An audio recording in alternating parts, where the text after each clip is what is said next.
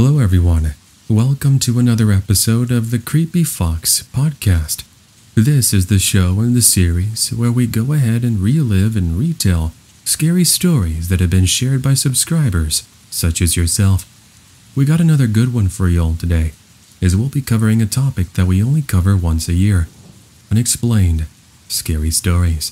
I really enjoy these sorts of scary stories as they go beyond the typical sorts of scary experiences we cover, the sorts of experiences that keep you up at night. So, as you sit back and relax and enjoy these two hours of stories, make sure that if you do have a story you like to submit, you do so by submitting it to my user submissions email. You can find it on screen on all my videos. It's tcfnarrations at gmail.com. I'd love to feature you. Anyways, friends, let's go ahead and get started with today's episode. Enjoy. This happened about two years ago in mid November. I'm from Finland, and as most Finnish men, I serve in the military. Every year, I leave for anywhere from two to seven weeks for training and basic drills. I'm about the Finnish equivalent rank to corporal, so there's a few soldiers I command in the unit. Our unit was 16 soldiers, including me, which is really small. We were stationed in the far north in Lapland, which is basically nothing but cold tundra and forests. It was snowing pretty hard one night when my squad and I were performing our usual exercises. We had been there for about four days. On that one particular night, we had gone out to explore and left our small command center where the rest of the soldiers and officers were. It was myself and five others.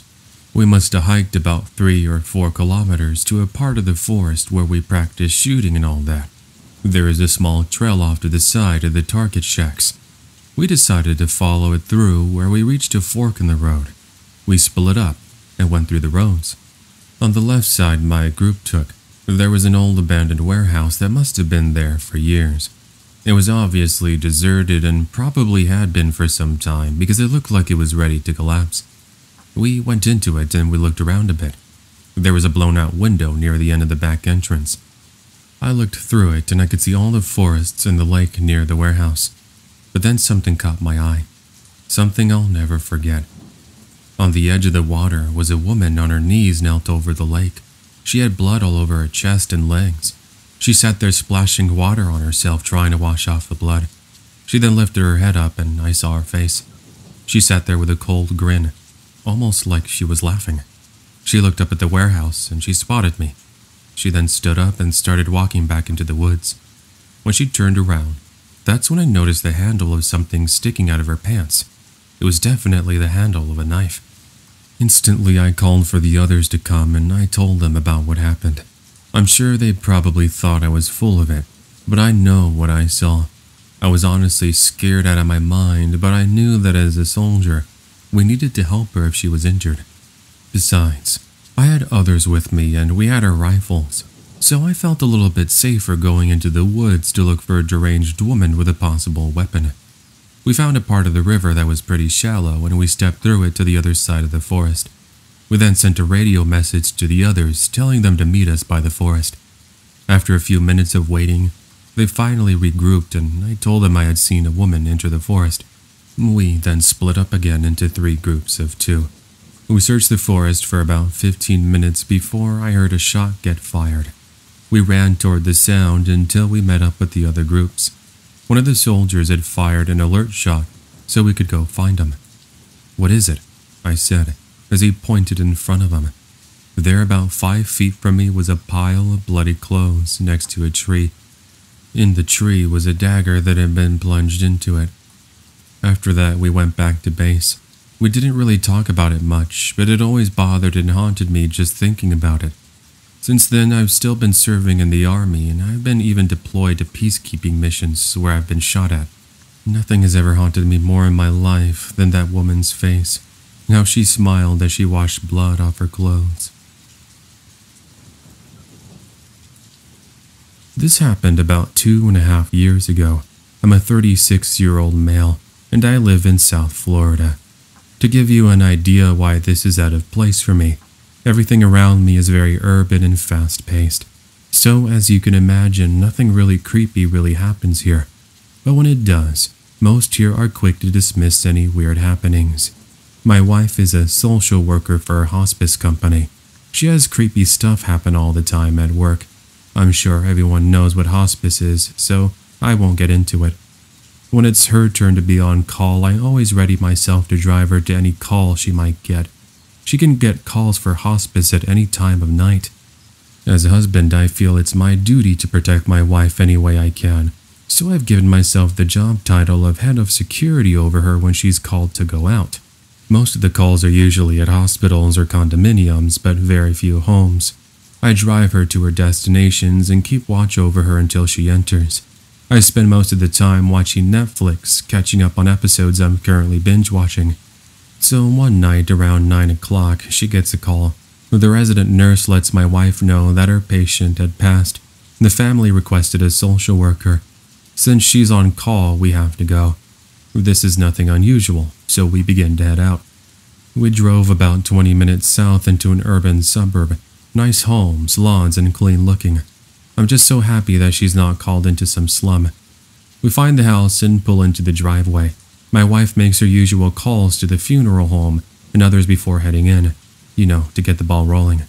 It can take the funeral home a while to get there and remove the body. Plus, we have our son with his grandmother, and he was only a few months old at the time, so we were hoping not to be out too long, and it was already a little after 10 p.m. at this point, on a weeknight. I noticed a few people driving up, they were family members who wanted to say goodbye to the woman that had passed. Some went to the front door, others through the open garage. It was nothing unusual. After a few minutes, my wife got all the paperwork needed and kissed me and went inside. So I whip out my headphones and continue the show I was binge watching at the time. It was X Files. Yeah, yeah, I know. But before I continue, I'm not one of those people that get freaked out so easily just because I'm watching something like that. I'm a big guy, a former bouncer, and can protect myself pretty well. So my mindset is not jumpy at all. So I'm about 30 minutes into the episode, and all the while I would pop my head up at any movement. For one, to survey the types of people entering the house, and two, just to see if my wife was coming out, and also to be on a lookout for the funeral home van. After a while, the flow of people coming and going had slowed down, so I wasn't looking up so much. But then something caught my attention. I looked up from my phone and towards the front door of the house. It's going to be hard to explain what I saw next, so please bear with me. It was a dark mass. It looked like a shadow, but denser. It was a formless form, but I can tell. It was moving towards the door of the house, but by the time I could understand what I was looking at, it started to dissolve upward or blow away like leaves. It was freaky, I'm looking at this happen in front of me, but my brain was having a hard time processing what I was looking at. It was so foreign. The whole thing lasted about five or seven seconds. By the time I had realized what I was looking at, it was gone. So I looked into the direction that it dissolved slash blew away to, and I saw nothing. Then I shrugged it off and went back to my show. Maybe the shadow from the trees, I thought. A few seconds later, more movement at the front door. It opens and this lady popped her head out. She looked left and right, and then she shut the door. I looked at her and around the entrance and back down to my show. After a while, I looked up again. It's my wife walking from the open garage. She gets in and I say, You ready? She says no, still waiting on the funeral home to show up. She was a little frustrated seeing how she called them nearly an hour ago. So I ask how was the family taking the loss and how she was feeling. She talks about the mood of the family, how they were coping well when she first got there. Then the whole mood changed after something creepy happens. My eyebrows go up. Creepy? I asked. I had something creepy happen too. So I asked her to go first. She said that she was talking with the deceased lady's daughter when they hear a loud knock at the front door. They all thought it was strange because everybody who was coming in just let themselves in. Plus, this knock was really loud and strong. So her daughter went over to ask who it was but got no answer. She opens up the door and looked out, but she didn't see anyone. So she closed the door, shrugged her shoulders, and walked back to my wife. And that's when the whole mood changed. A cold feeling came across the room they were in. It was very saddening, kind of hopeless, as it fell on the room. Very draining, she said. My wife says she felt a strange presence in the house after that. Not too long after that happened, since everything was odd, she decided to come outside for a few minutes and see how I was doing. My eyes widened while she was talking. She looked at me and said, What? What happened to you? You said something creepy happened to you. Tell me. And then I asked her, Did her daughter have a ponytail and glasses, wearing a white shirt? She said, Yeah. Why? Did you see her when she looked out? That's when I began to tell her what I saw and what I experienced. We both sat there with this look of amazement on our faces. For a few seconds, we sat completely silent and we looked around. I'm a God fearing man. I have a firm belief in the afterlife. I also believe entities other than humans can take advantage of a situation, like the passing of a family member or something like that. I think this thing came to feed off the grief of this family, seeing how the mood changed in the house. Unknowingly, they let this entity in. We've both decided to pray for protection, not wanting this thing to follow us home, and she made a call to find out the ETA of the funeral home. They were 10 minutes away. My wife is used to this feeling. However, this was the first time she had an apparition and an audible knock to go with it. She waited a few more minutes before going back in. Not long after she went in, I saw the lights of the funeral home van. By this time, it was a little after 11 p.m. Two heavy-set men in cheap suits get out and pull the stretcher out of the back of the van. They go in and emerge 10 minutes later with the body covered with a sheet. My wife was right behind them. She came straight to the car. I say again, You ready? Yes, she said with a sigh of relief. So I scanned the area as we back out, hoping not to see anything else. We reached our home and all was well. I've gone to plenty more calls since that night, and I haven't seen or experienced anything like that ever again. But I can't help but think how often something like that can enter your home and alter the mood just like that, or worse. Me being a former bouncer, I thought to myself, how in the world do you keep something like that out? This story is set in the 90s. I was about 9 or 10. It was a week on which I didn't have school and it was kinda cold outside. I used to play with my neighbor across the street and we grew up in the same school district. I was bored and I asked my mom if I could go play with them and she allowed it.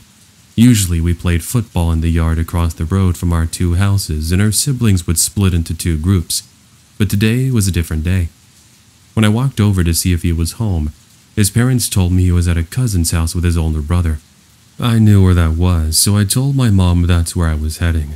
It was only about 10 minutes across town on a slow walk, but I decided to take my bicycle. I didn't realize it until I thought more about it that they were out hunting all morning. It was a little afternoon. I should tell you that this town is only about 2,000 people, and everybody knows everyone. Well, when I arrived, they're watching the Raiders game, and I was a big fan back then.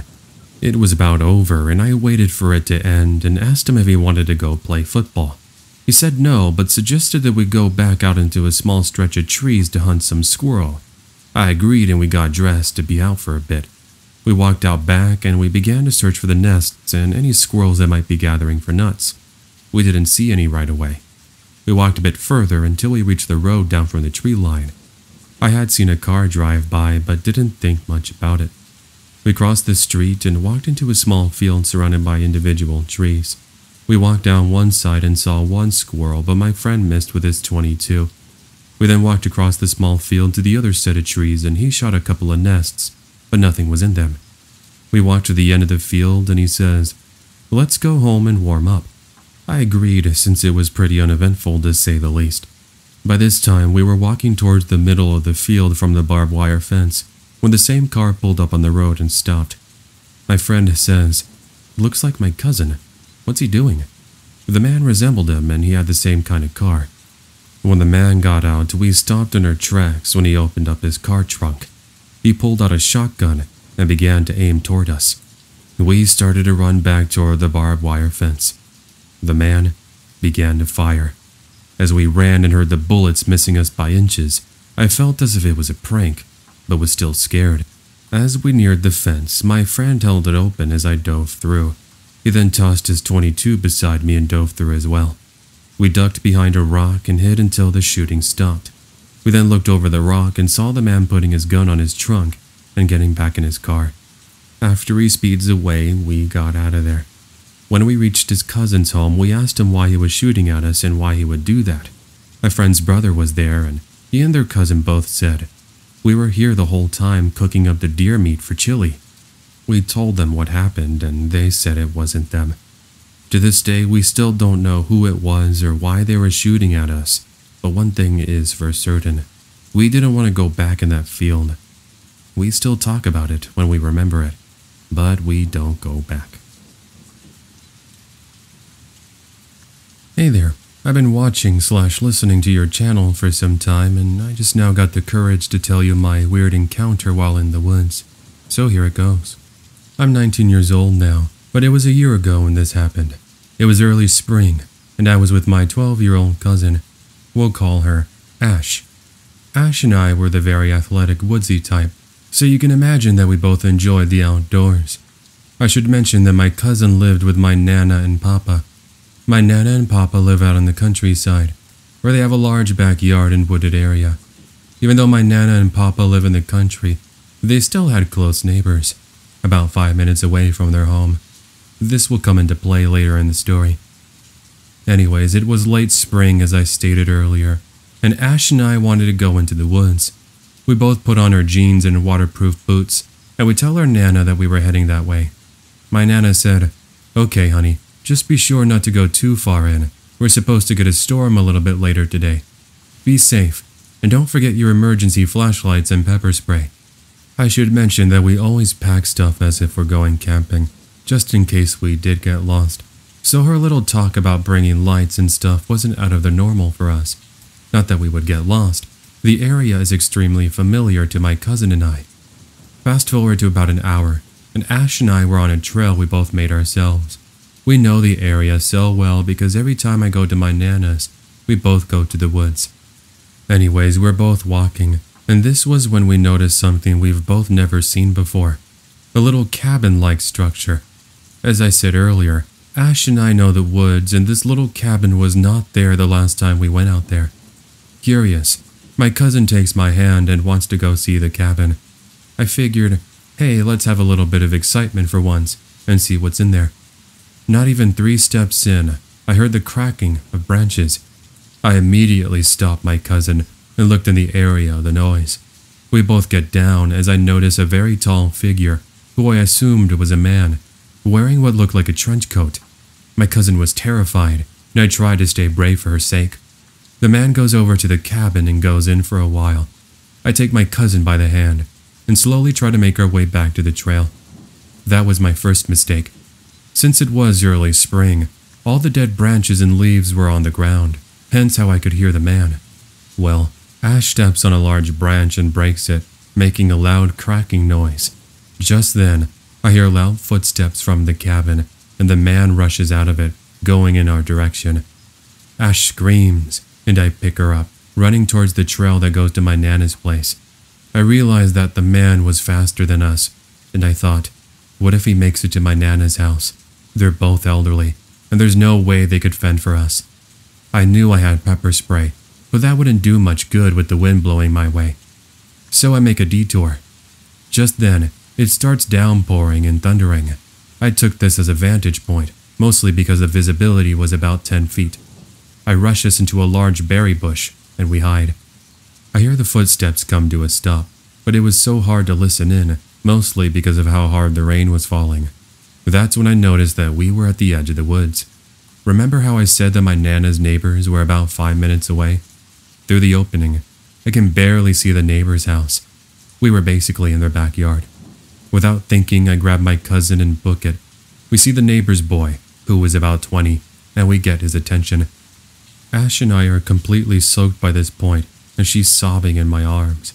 The man never did notice us, thankfully, so we made it there safely.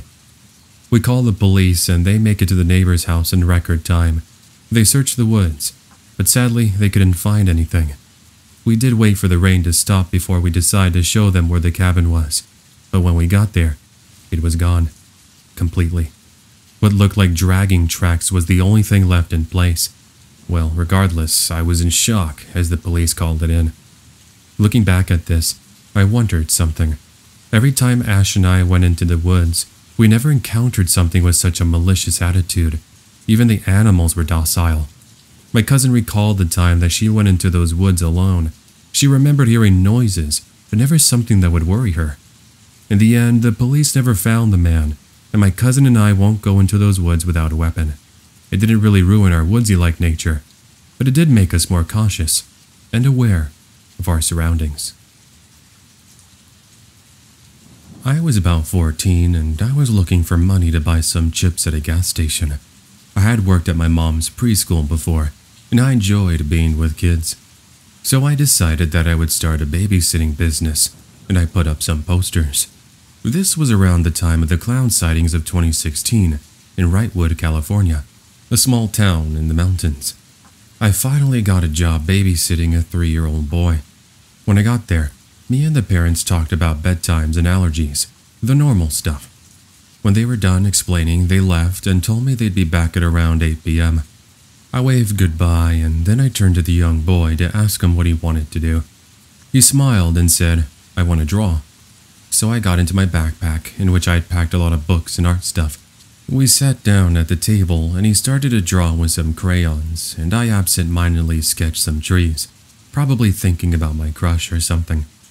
The kid handed me a picture that he drew. It was a clown. He said that it was a clown that visits him at night. I thought he was just talking about having dreams about clowns. I smiled and said, Oh, so cute. It was still light out, so I took him outside to jump on the trampoline. He jumped and tumbled around as I watched and giggled. It then started to get dark, and I took him inside, holding him on my hip. We read a book, and he ended up falling asleep on my lap. Now I take him upstairs and put him in his tiny red car bed. Then I went back downstairs to watch some TV and do my homework. I was just relaxing, eating the snacks from my backpack. Then I hear something outside. I did brush it off as a raccoon or a squirrel, but then I recognized the sound. It was the trampoline. Now, this was a small town, so I just thought it was some kids jumping on the trampoline. I decided I would go check it out anyway. I went outside thinking I would just tell the kids to get off the trampoline, and then I realized that it was actually darker outside than I originally thought it was. I walked over to the trampoline, and then the next thing that I know, my blood ran cold, and I wished that it was only a couple of kids having fun. I saw a clown with a super creepy mask. It had this inhuman smile on it, a big red afro, too. I remember I gasped and tried to be quiet while walking back into the house. I got in without making any noise. I locked the deadbolt and stood in front of the door with a kitchen knife, ready for the clown if he came in. Then I heard a loud bang upstairs. Oh no, I thought. He broke into the window. I ran upstairs and then saw the clown in the three year old's bedroom. I could see the three year old talking to the clown, and the clown was trying to convince him to run away and come with him. Then I understood his drawing of the clown who visits him.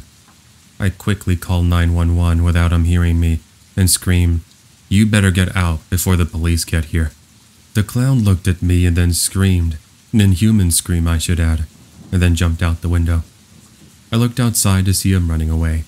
It's not possible, though, I thought, for this was the second floor, and you couldn't run away without being injured. My heart rate was super high, which isn't good for somebody like me with pre-diabetes. I was honestly so scared. The police arrived a few minutes later and investigated. I fainted at this time and must have been out for a while because I ended up waking up in the hospital. They explained how I had fainted. After that, I was so scared of clowns that whenever I saw one or heard any noises in my home, I feared for my safety.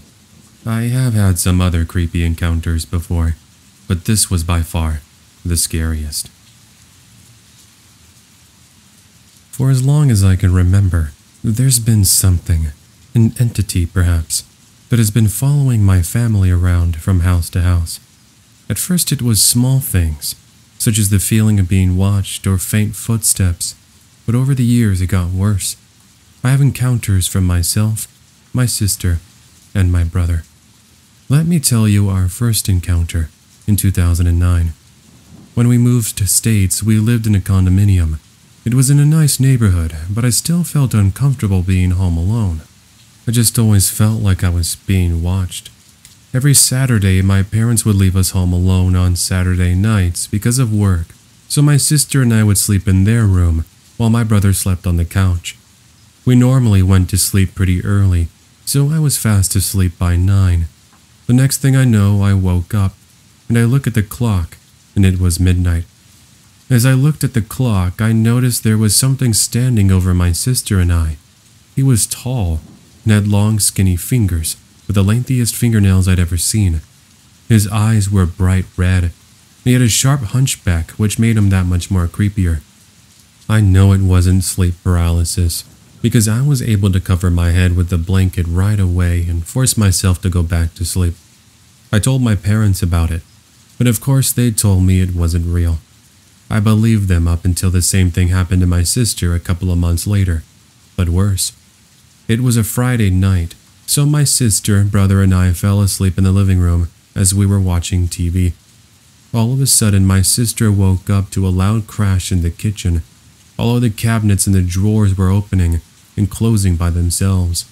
It was so loud she didn't even know what to do so instead, she flipped over to her side, facing our patio.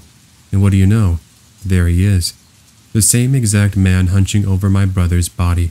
When my sister made eye contact with him, he smiled, and with that creepy smile, she could see his sharp and bright white teeth. It was the most chilling thing I'd ever seen. As he was grinning at her, he lifted up his sharp claw like hands over my brother. The banging in the kitchen got louder, and the blinds on our windows began to shake and with that, he was gone. Everything fell silent, and the only noise that was made for the rest of the night were the blinds moving back and forth, as if somebody had opened and closed them. My parents didn't believe her, but I sure did, because I knew I saw the same thing. From then on, everything was normal, until we moved into the house that was waiting for us after we moved out of the condominium. The house we moved into was nice, but of course I still felt shaken up every time I had to be there alone. At first, everything was fine, but then one day my dog was eating his dinner, and next thing we know, his bowl was pulled out from right under him. Flash forward to today, and he still hesitates eating out of his bowl. Nothing too major happened after that, so I'll flash forward to 2011. My sister was having a sleepover with her friend, and they decided to sleep in the living room since I shared the room with my sister at the time, and she didn't want her lame younger sister hanging out with them. They ended up falling asleep on the couch, and that was that. The next day, your friend said, Hey, was your brother up last night, around one in the morning? My sister replied with, Uh, not that I know of. He spends a lot of time in his room. The next thing her friend said still haunts me to this day.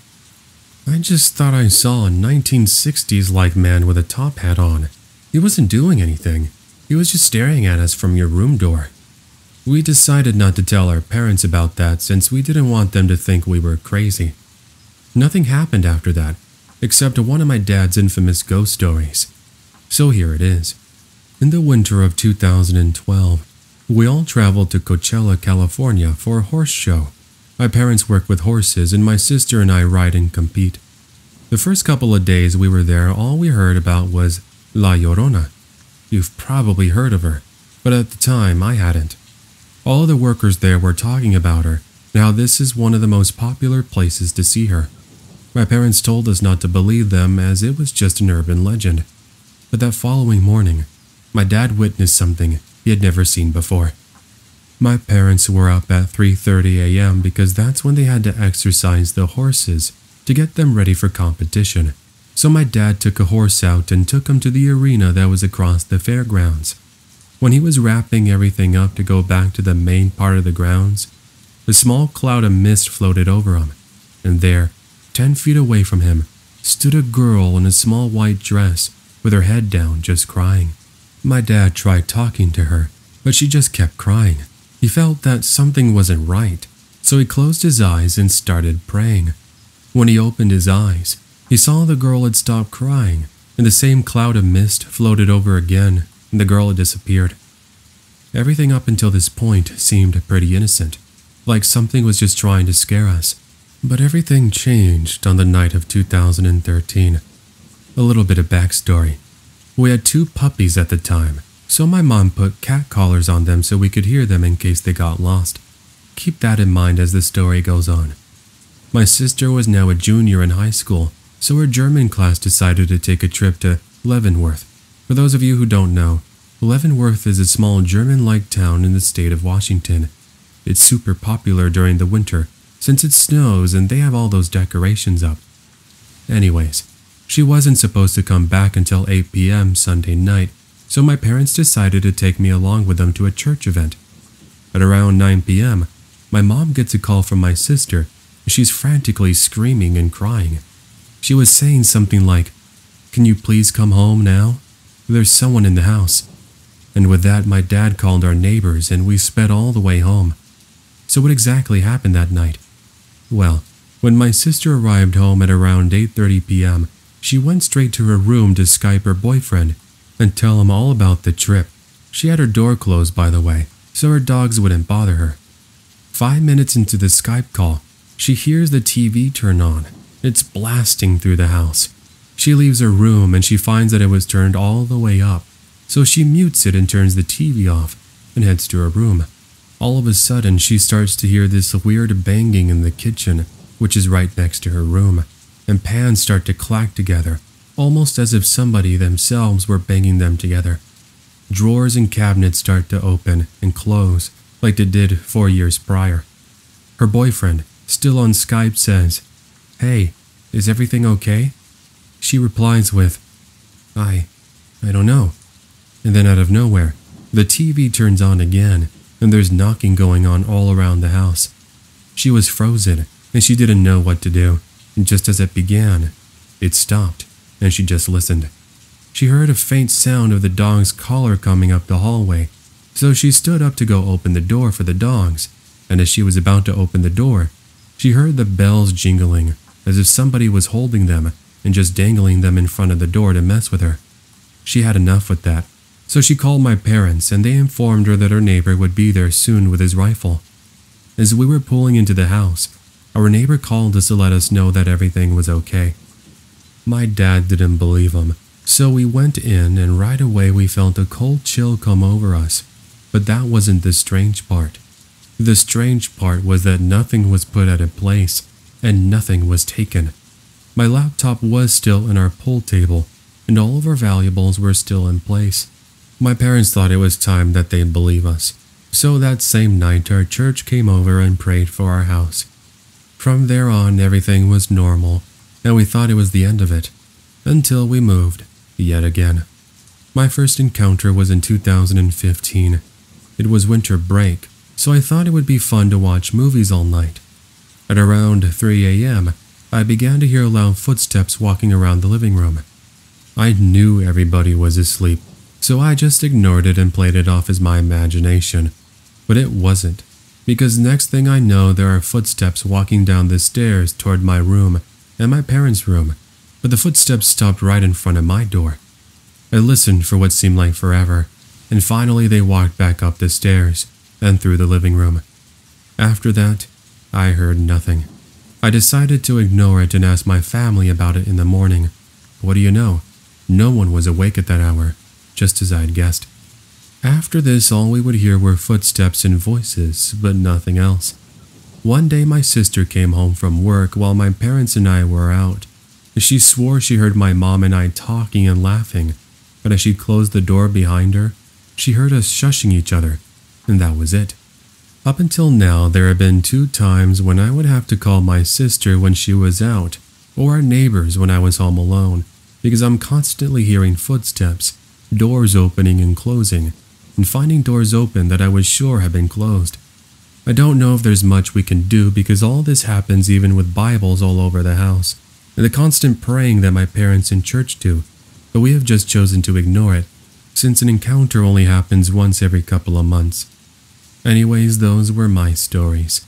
I hope you guys got a kick out of this, just as much as my friends did hearing it.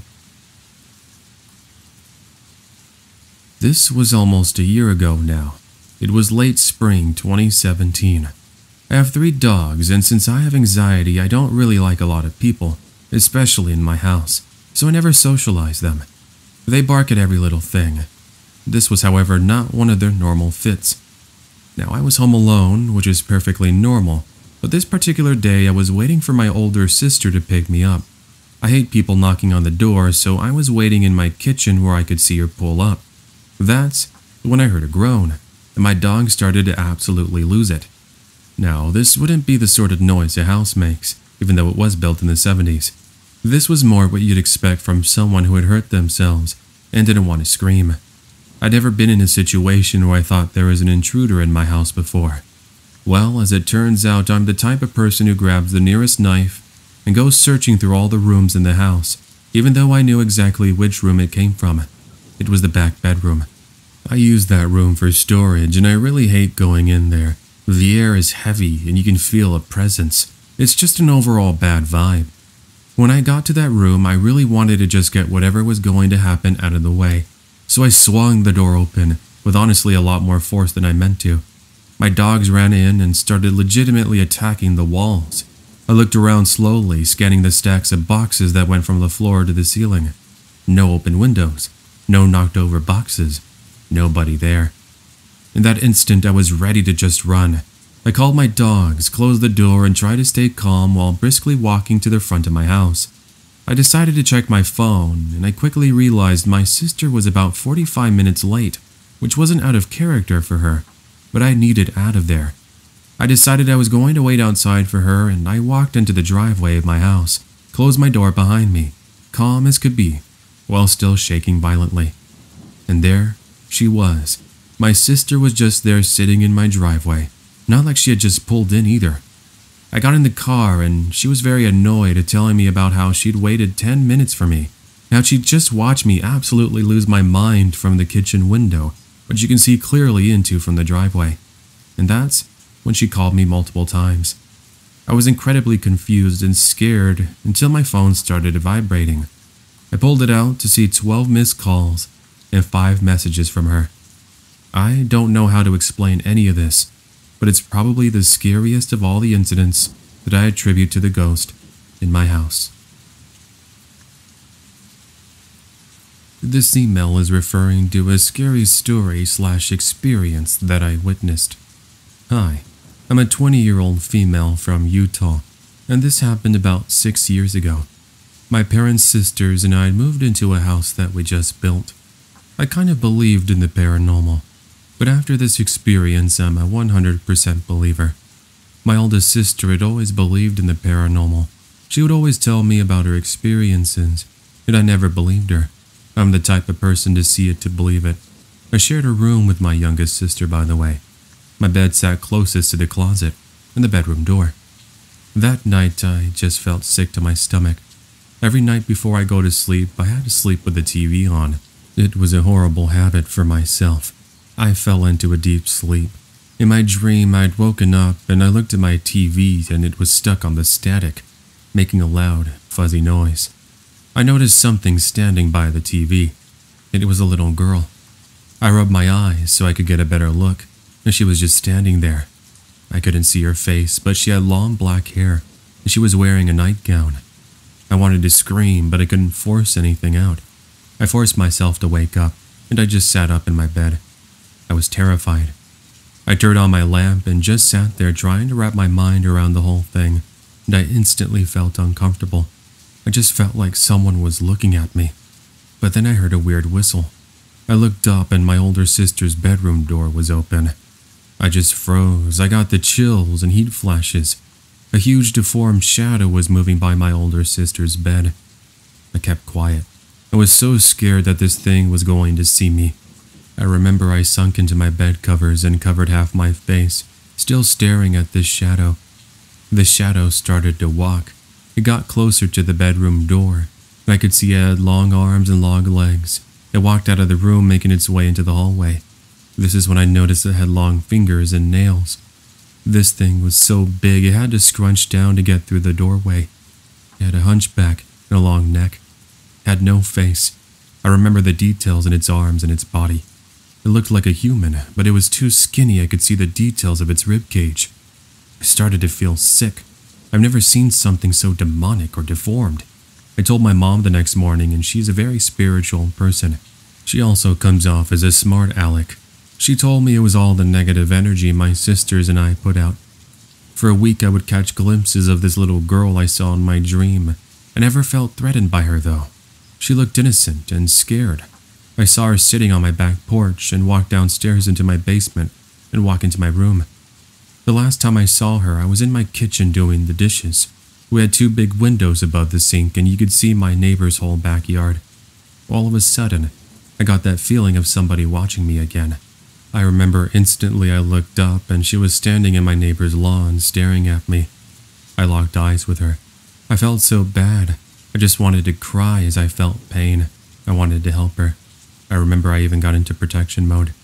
After all, I'm a mother and I get that way with my daughter. Tears started to come up. She then turned around and walked away as she just disappeared. To this day, I never saw the little girl again. I did experience more with the shadow, though. There's just so much more that has happened. But if you want more, please let me know.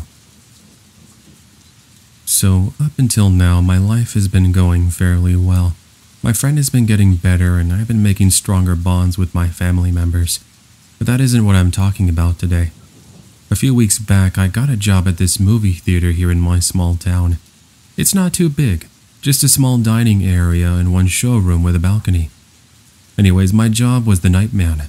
Yeah, they thought some stranger would break in, I know. So I got the job. I worked from around 10 or 11 at night to about 9 a.m. the next day. It isn't so hard because I'm a night owl anyways. Plus, it's nearly double pay and I was the only one willing to take the responsibility. Every so often, the theater has special midnight reservations.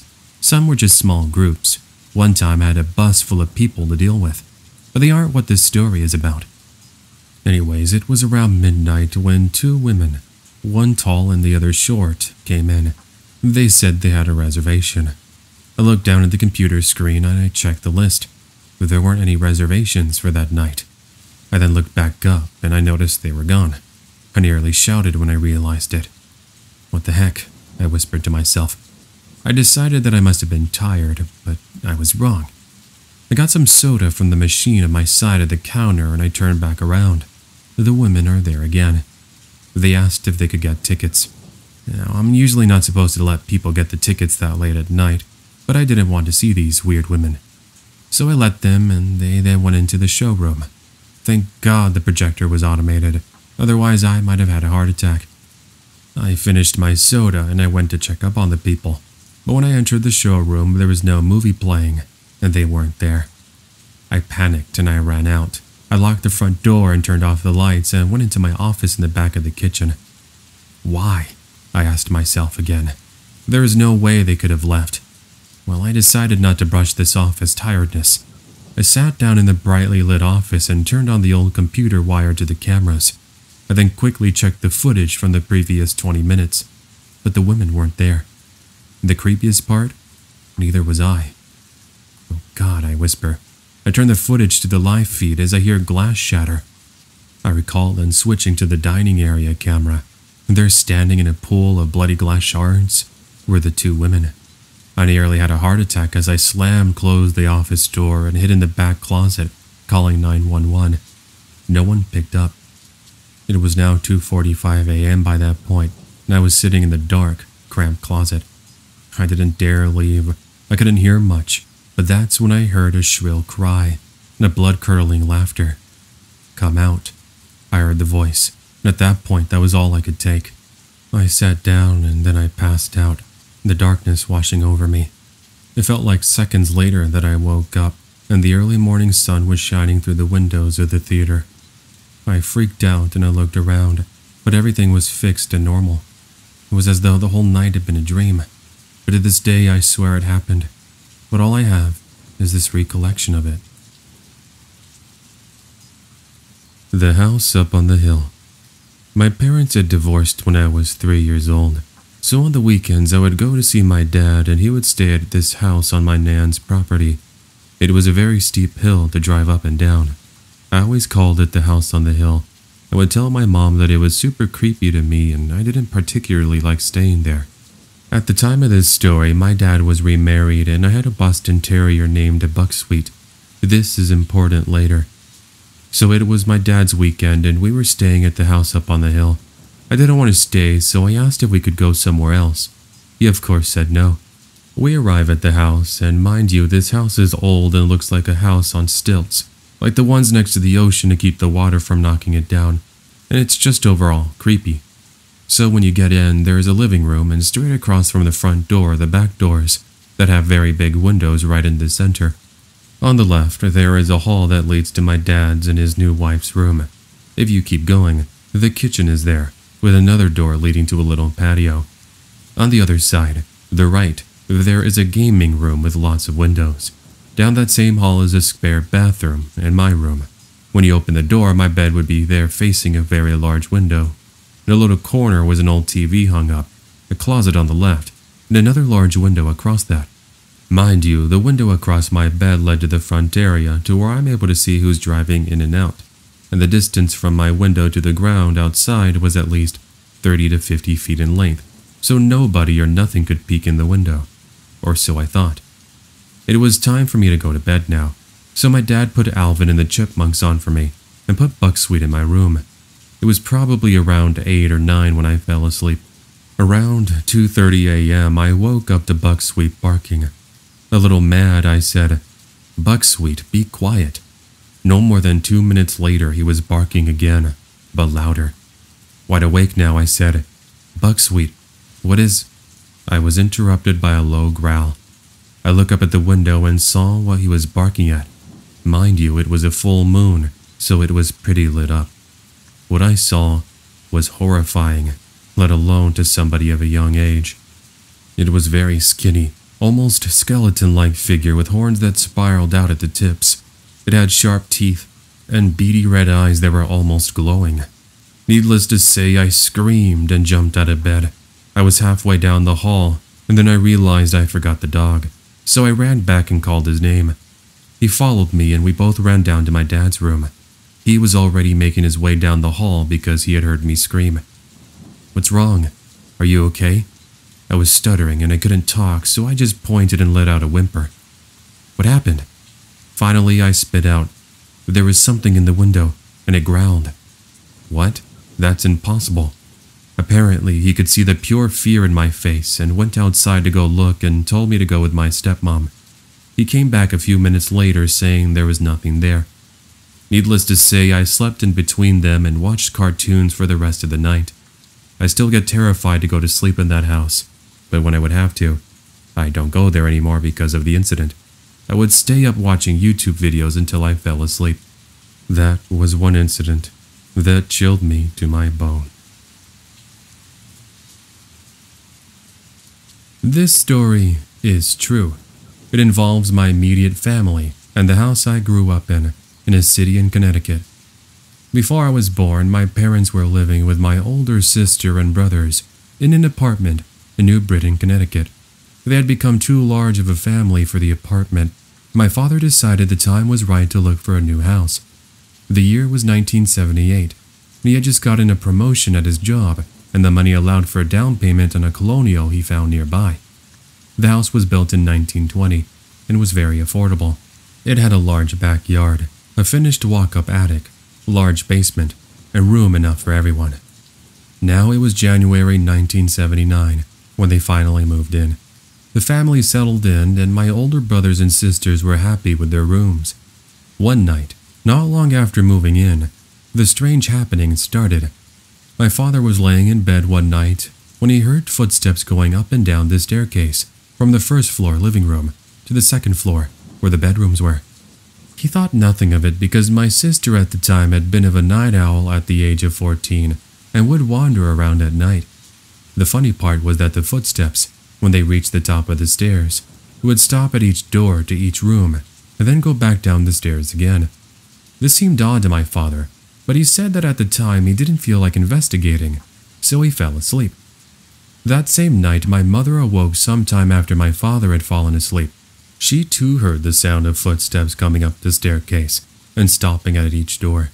She expected it to be one of the kids wandering around or perhaps looking for the bathroom or getting a drink of water. She looked toward the door to their bedroom and saw what she describes as a figure of a woman in blue. My mother described the sensation of being frozen and breaking out in a cold sweat. The figure spoke and said, Do you know where Margaret is? My mother couldn't answer. Before long, the figure ended up dissolving. My mother remembers nothing after that. She couldn't move or speak, so she couldn't answer the spirit's question. The next morning, my parents swapped stories. My father recounted the footsteps, and my mother told her much more disturbing story. A few weeks went by, and my mother was speaking with her father, my grandfather, and she told him her story. Being the type of man he was, hard headed Polish, he told my mom the story was a bunch of baloney and probably was just a dream. That discussion they had is integral to what will happen later on. Strange things would happen in the house. Old shades would go up on their own, footsteps, music in the attic with no known source, pictures would come off the walls. Just things that would remind you that there may be a presence as you started to let your guard down. Sort of like a, hey, remember me? The most pronounced thing was the shadows out of the corner of our eyes. Now let's fast forward a couple of years to the night of September 30th, 1981. My parents were at the hospital because my mother was in labor with me. My grandparents were watching my siblings that night at the house. The same grandpa who had dismissed my mother's claims was asleep on the couch in the living room.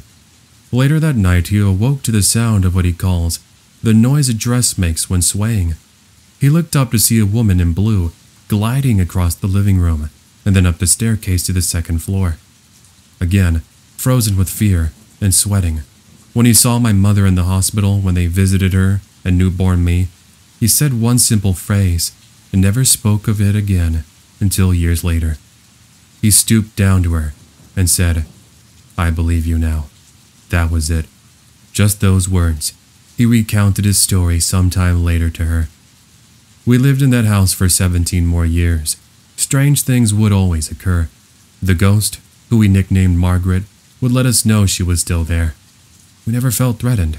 In fact, I fondly remember that home as warm and welcoming and loving with a hint of added creepiness. Again, nothing demonic or harmful. Doors would open, cats would hiss at nothing. We would see figures out of the corner of our eye darting up the stairs. The smell of cigar smoke would fill the living room, yet no one in our family smoked. Some time before we moved, we got a knock on the door. A woman was standing there and said she was someone who had lived in the home. She was a daughter of the family my father bought the house from. She asked if she could see the house so as to revisit her childhood. My parents allowed it. While going through the house, she would touch doorways in a loving manner and tear up as she walked through the kitchen and the living room. After that, she sat with my parents for a cup of coffee and she asked something that I always remember to this day. She said, By the way, have you seen her? Well, we all know who her was. Then the stories started coming out about her time in the house and the visions of a woman in the attic window, as well as hearing footsteps. It was nice to have more verification, that's for sure. Anyways, thank you for listening and reading my story. I don't look back on these things with fear, but only with fondness and a good feeling inside. My parents are elderly now, and we still recount our time in that warm yet haunted home in New Britain, Connecticut. Hi, everybody. The following story that I'm about to tell you really happened. Some might be skeptic about this, but that's alright. So was I. Even though it happened many years ago, I still can't believe it really did. A few weeks ago, it even happened again. Hopefully, there are more out there that have experienced this. First, a little background story. When it happened, I was about 11 years old. I lived in a small town in the Netherlands, Europe. The type of town where everybody knows each other, small enough to walk through in just 15 minutes from north to south. There weren't a lot of kids around during that time, so the few children living there were friends. One day, two friends, let me call them Frank and George, and myself were walking around bored. I can remember we wanted to do some innocent mischief, like prank calling, hitting the doorbell and running away, that type of mischief. But what could we do? George mentioned about the farming fields a few blocks away. He said that there were some beehives. For some stupid reason, we thought it would be funny to go there, hit them, and run away as fast as possible. To access those farming lands, we needed to walk over some plain grass field. The farming fields were separated from the grass fields by a small part of the forest. You could easily walk through it. It was just a matter of seconds. We all walked through the forest and came upon a sand path that would lead directly to the farming fields George wanted to go to. As we walked down the sand path, I noticed my shoelaces were untied. Frank and George, same age by the way, agreed to walk ahead. As I was doing that, I looked at the forest we just came out of. Picture a wall of trees. There was a small gap in the trees, kind of like a window, next to the huge gap where we walked through. As I looked at the small gap, I saw a man, dressed in all black with a white or light gray shirt. The only thing that scared me were his eyes. His eyes were bright green. No white, no pupil, just green. It looked like the sun reflected on his eyes, so bright as it was. I couldn't remember what happened after. Suddenly, I got awoken by Frank. What's wrong, man? Wake up! He yelled. I snapped from the sort of dream I was in. Frank told me that when I took too long, he came to check it out. He saw me sitting there on the ground, looking lifeless to the forest. As I remember what happened, I looked back at the gap, but the man was gone. Now, I thought that was it. Frank and George never saw anyone, so I took it as a dream, forgot about it, and went on with my life. A few months later, I was playing at my friend's house. This time it was my closer personal friend, Rick. Together with a brother, his brothers, friend and us two, we took some toy guns and decided to go to the forest east of the town. Alongside a small river, there was one rarely used bridge. It connected a path to town. The river was alongside the forest. We decided to play war. Attackers have to go after the defenders of the bridge and take it over. Rick and I were the first attacking team. As we were hidden in the forest, looking at the bridge, we waited to attack. As we were doing so, I noticed something further down in the woods. Clear as day, my heart froze and my eyes were fixated on the moving creature a little bit of a ways from us. It was him. I couldn't believe it. The man in black, with a light shirt on. He was walking, moving, on such a crooked way, like his limbs were too long. Suddenly he stopped. I held my breath, disregarding my friend that was with me. As if Rick wasn't there, the man turned his head so slowly. I could remember that I couldn't look away when he looked at me again with those shiny green eyes. But the worst was his mouth. Ever so slow as he turned his head, he formed a strange smile on his face. Not friendly, but hatred. When he stared at me like that, I couldn't deal with it anymore. I jumped out and ran to my friend's house, my friends following me back, not understanding what happened. I don't know how I explained later, but I don't know who I saw in two different times. Maybe it was a coincidence. I remember him as the green eyed man. After that, I never saw him again, which made me conclude it was just a child memory slash fantasy. Like I said in the beginning, a few weeks ago it happened again. I'm 28 years old now, a full grown man, mentally stable, clever. Why am I even saying this? Anyways, a few weeks ago, I was at the bus station in my town, different town than my childhood town after a date with a girl. I took her to the bus station since I didn't have a car at the time. I didn't live too far away, so after she left, I walked home. It was dark, so I wanted to hurry up. Picture two streets next to each other, connected in the middle, like the letter H. I was walking on the left street, needed to go through the middle, and at the far end of the right street I lived. As I made the turn in the middle, I noticed something at the end. Under a dysfunctional, blinking street lantern, I saw a man standing there, motionless. Not thinking much about it, I continued my walk. Startled, but not seriously spooked. I was a few meters away from it until he slowly raised his head. I looked at the eyes. The same green, shiny eyes looked right at me. The same strangely crooked smile accompanied this, but this time it looked full of hate. He raised his hand and pointed at me. I booked it out of there. As I ran around the block back to my house, I checked the street. The street lantern was working fine. The green eyed man was gone and nowhere to be seen. That's my story. I don't know what I saw. Google didn't turn up any answers. Hopefully, some of you have encountered this green eyed man. I'll check the comments every day to see if somebody responded. Not that I'm scared or anything. I live every day like I always do. In the back of my mind, though, it's still a question. When will I encounter the green eyed man again? For privacy reasons, the subscriber who shared this story with me will like to be referred to as T. Shout out to you, T. Thanks for sharing your story. Now let's go over the unexplained and strange occurrences that have taken place in her life. We begin with some backstory. Five or six years ago, my ex fiance and I moved into a trailer park. I found myself working in the mornings. Meanwhile, my ex fiance worked at night. This meant I was often alone, save for the rare chance my ex had the night off. When choosing our trailer, I hadn't paid attention to the unsettling neighbor we would move next to. And when I say neighbor, I'm not referring to people. I'm talking exclusively about a cemetery that was located 800 feet away.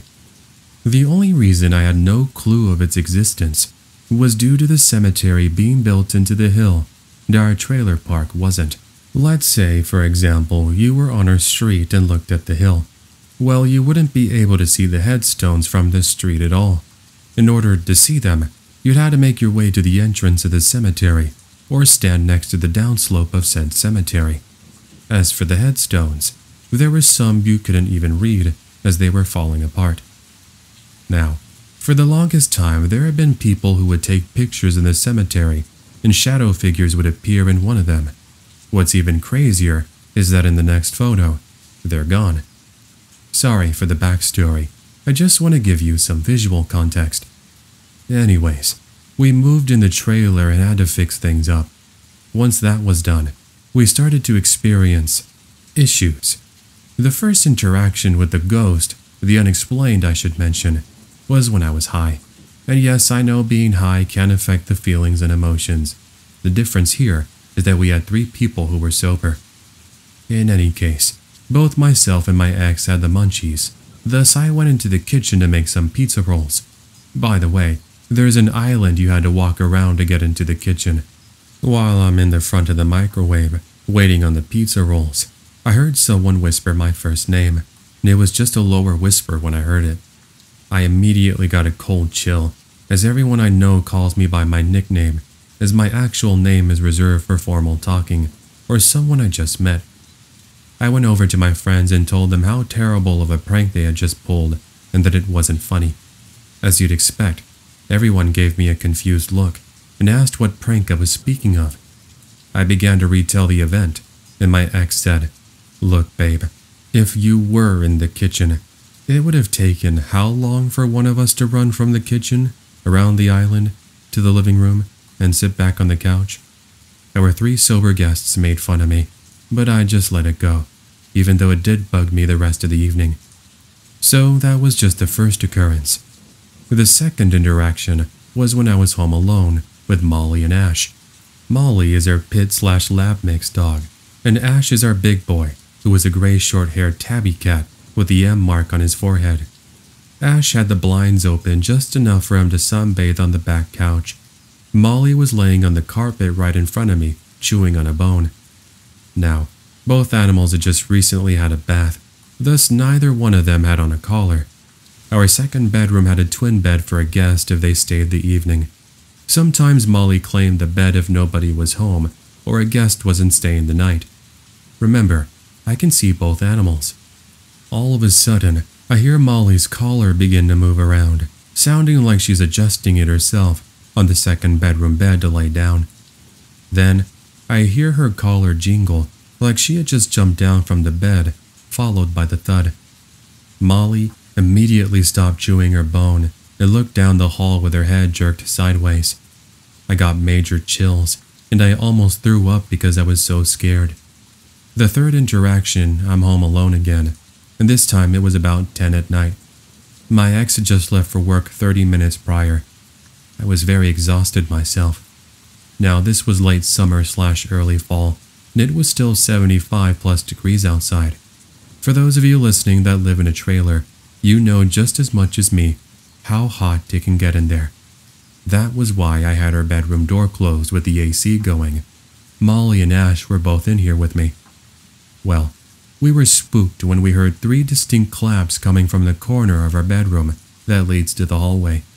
Molly was a medium sized dog, roughly 60 pounds, so definitely not a little one who gets easily scared. She went to the corner of the bed and began growling, which got louder with each passing second. Even the hair on her back was standing straight up in a line. The growling then turned into barking. Now I'm talking really loud barking. I'm freaking out, ready to call the police, but I called my ex instead. He was able to calm Molly down and told me that if someone was in the trailer, let Molly go after them and grab the hockey stick and proceed to defend myself until cops arrived. Unfortunately, I'm shaking and feeling as if I can't move. I was that scared. My ex tells me, It's either you hunt or you become the hunted. Don't just let some random person scare you out of the house. Somehow, I managed to get out of bed and grab Molly by the collar, and then I proceeded to grab the hockey stick. Okay, Molly, when I open the door, go get him, but be safe. I whisper the command as I swing that door open. Molly takes off with a purpose, and I start to turn the lights on. Here's what's weird I don't see anything at all. Door and windows are all locked. I checked to see if the intruder was hiding somewhere in her home, but no luck. I didn't get any sleep that night, and work was an absolute nightmare. That afternoon, my ex and I got into a heated argument. You see, anytime something paranormal happens, he always says I'm full of it and that I'm making it all up. He's the kind of person who doesn't believe in it, and since nothing has happened to him, he's almost certain I'm making up these stories. So, on to the fourth interaction that scared me so much, it caused an end to the relationship altogether, which saw me pack up and leave the next day. Yet again, I'm home alone and my ex is working overtime. It was roughly between 11 p.m. and midnight. I'm there watching TV in our bedroom and I had the TV on mute as I started to fall asleep. Out of nowhere, I hear someone knock three times on our front door. I can see our front door from our bedroom, by the way, and nobody was there. Then, there are three knocks on our window in the kitchen. Then, there are three knocks on our back door. I have my head covered under the blankets, by the way, and I'm crying, attempting to call my ex, but I'm so full of tears, I can't see. Molly has her head sideways looking at the door, and all of a sudden she gets off the bed and begins approaching the door. I'm calling her back, and this was when I hear a loud clap come from the corner of the bedroom. It scared Molly. And she runs back to the bed, but she lays over me looking at the door and growling. I start praying, but then I remember everything going dark. I hadn't realized it, but from all the adrenaline and heart beating as fast as it did, I'd passed out. That or the lack of sleep being unable to rest ever since we moved in. There were nights my ex would shake me awake and ask why our bedroom door was open because it was letting out the cold air from the air conditioning, causing it to work harder. I told my ex what happened that night, and we got into an even greater argument, which led me to moving out as he called me crazy, amongst all these other things. Side note, I did one of those salt rings around our trailer and prayed, but I think this might have angered whatever was in the trailer. That was after the second interaction. A lot of things happened between the ring and me moving out, such as cabinet doors being opened that were closed, or kitchen chairs being moved to a different spot. Even remote controls and jewelry would show up in different locations. And no, I don't sleepwalk. And my ex wasn't pranking me either. I don't know if this is the right place to tell this story, but here we go. This took place about 13 years ago. I was 11 at the time, and I was on a hike with my family. It was about 7 and it was getting dark, so we decided to go home. This is when I heard something in the woods and was wondering if it was an animal or something else. So I went out and started following the noise. I stopped hearing the noise eventually, so I decided to go back to my family realizing that I was alone and I had been lost. As I started following the path that me and my family were taking, I heard somebody, singing. I couldn't make out what the song was, so again I started following the noise. The song was coming from this abandoned house deep in the woods. I went inside and I heard a bang, and it repeated bang, bang, bang. And a lady was singing, All the bridges falling down, falling down, falling down. When I looked at the lady, noticing she was old, skinny, I'd probably say in her late 40s with half her hair ripped out, she started banging her head against the wall. So I took my flashlight out and shined it at her. She then turned her head to me and started screaming at the top of her lungs. And believe it or not, she actually grabbed me. I kicked her and ran off as she started chasing me. I didn't dare look back, but the screams got farther and farther away. Eventually, I slowed down to take a breath, and I saw a police car and ran towards it. This is where I saw my parents crying, so I told them about what happened, and I told them I got lost in the woods. I'm now 24 years old, and this is the first time I've ever talked about this incident. So, this happened when I was 15 years old. For some background information, I'm female, and this happened at a time when a bunch of strange things were happening at our house, but those stories are for another time. To understand my story, you need to know how the layout of my house was. Walking in the front door, you see a hallway and stairs, and to the right was my living room where we were. I digress. It was a late summer night, and my boyfriend, who we're going to call Cisco, his sister Hazel, and my sister and I were up late watching movies. Cisco and I were cuddled up on one couch with me behind him, and my sister and his were laying across the floor. It was getting late and I was getting tired before I realized we were all asleep. It was the early morning now, around 5 a.m., still dark out, when Hazel wakes up. She then proceeds to wake up Cisco to leave home. He got off the couch, knelt down, and told me he was going to leave, taking Hazel home. Now, I was in that half awake, half asleep state, so I heard him close the door and his truck turn on and leave. Now, this is where it gets strange. I knew he was coming back, so when I heard the front door open again, I thought he had returned. But then I thought, wow, that was fast. He was gone for only five minutes. He lives at least 15 minutes away from my house. Anyways, I heard footsteps get close to me and I felt someone get on the couch with me. To understand better, I was laying down with my back towards the door and facing the couch. So when I felt him get on the couch, I didn't think to really check. He proceeds to wrap his arm around me like how we were sleeping before he left. With my eyes still closed, I put my arms on his, but I suddenly got this cold feeling on my back and got the chills. I had goosebumps, literally running down my whole body. I asked him, Babe, why are you so cold?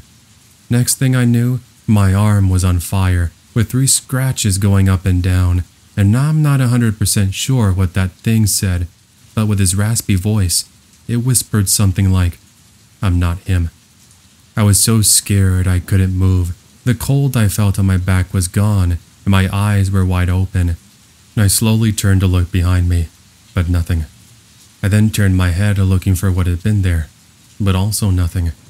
I did get up to go check outside, but none of my parents' cars were parked. So I went back to the couch and sat there stunned, deciding to call Cisco, asking if he had came by, but before I could call him, I had a text from him saying he was going to just stay home and get some rest. I got chills down my spine. Well, then who crawled on the couch with me? I woke my sister, who was still asleep on the floor, and asked her if she scratched me and was playing a cruel joke. Of course, she looked at me crazy after that. I explained what had happened, and she said I probably had a bad dream and scratched myself. But it couldn't have been a dream. It was way too real. I felt it behind me. It had put its arm around me. I was so sure it wasn't a dream. And that voice. Still to this day, I can remember the rasp in his voice. Well, that's my story, and I hope it makes sense. This story happens when I was about 12 or 13. My best friend and I used to go to a place called Hanging Rock. We used to explore the cliffs and hike a lot. We also used to drive around on a lawnmower and it had a trailer which we put a recliner in. We used to drive around the town and take a drive down the campground that was never open. This particular evening, we drove down the road to the campground in the dark. My rider had lights so I could see well. Besides, the lights were very bright. I should mention earlier that day we had noticed by the far end of the campground fence, we noticed this fresh carcass of a rabbit. It looked like a large animal had been feeding on it. The animal tracks were quite unusual. Anyway, as we reached the entrance, we would usually have to walk. The gate was open, so we drove right up to the shelter. It had an old deep freeze and no concrete slab under the shelter. It was just a roof, with no walls, just big enough for a fire pit and a smokestack in the middle. We unloaded our firewood and we lit a fire. After a while of talking and eating our meal, we began to feel as if we were being watched. Not thinking much of it, we kept on talking. A few minutes go by, and my friend says, Did you hear that? Sounds like footsteps on branches. I said, Yeah, that's kind of weird. The footsteps stopped, and we looked towards the hill where they came from. I looked around and saw something move. I couldn't make out what it was, but could see the white shape of something big crouching. We stared at it for what seemed like an eternity. Really, it was only a few minutes. Then it happened. It stood up. It had to have been over seven feet tall. As I looked at my friend, his eyes were enormous. He looked over at me and said, We have two choices get on the mower and get out of here, or wait for it to come get us. I replied, Let's go. We hopped on it with me driving and him in the recliner. As we sped away, we could hear it scream. We never did look back, and I should say the mower could only go about five miles an hour. The whole time, we could only think it could get to us if it wanted to. Needless to say, we did make it out of there. With our hearts pounding as we reached the lights on the top of the road, we looked back. It thankfully hadn't followed us. We were safe. We ended up staying at his house that night and decided to go back the next day.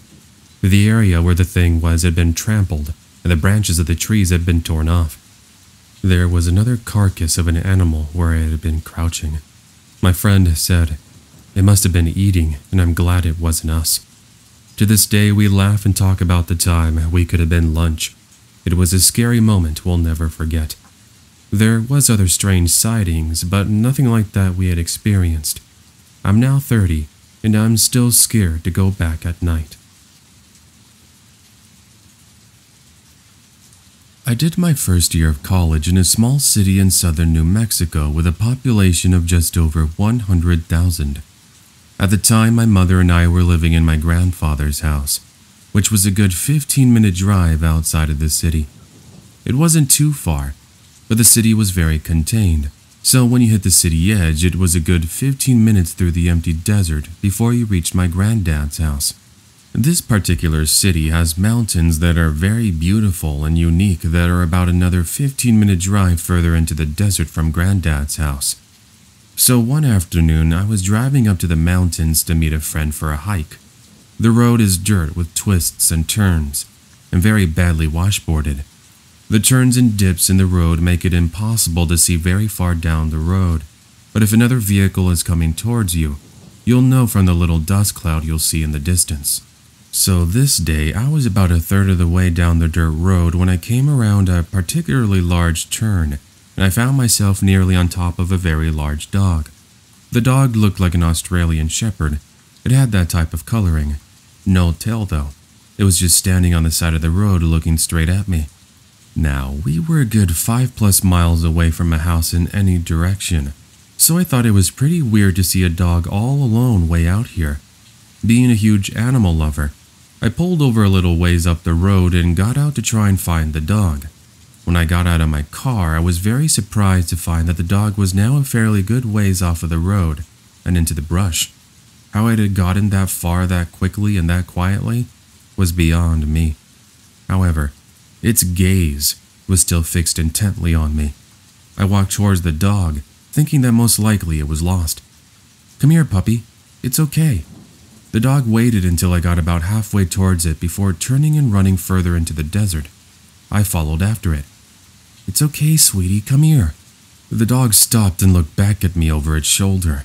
This start and stop went on for a little while, but every time the dog stopped, it would turn and make eye contact with me.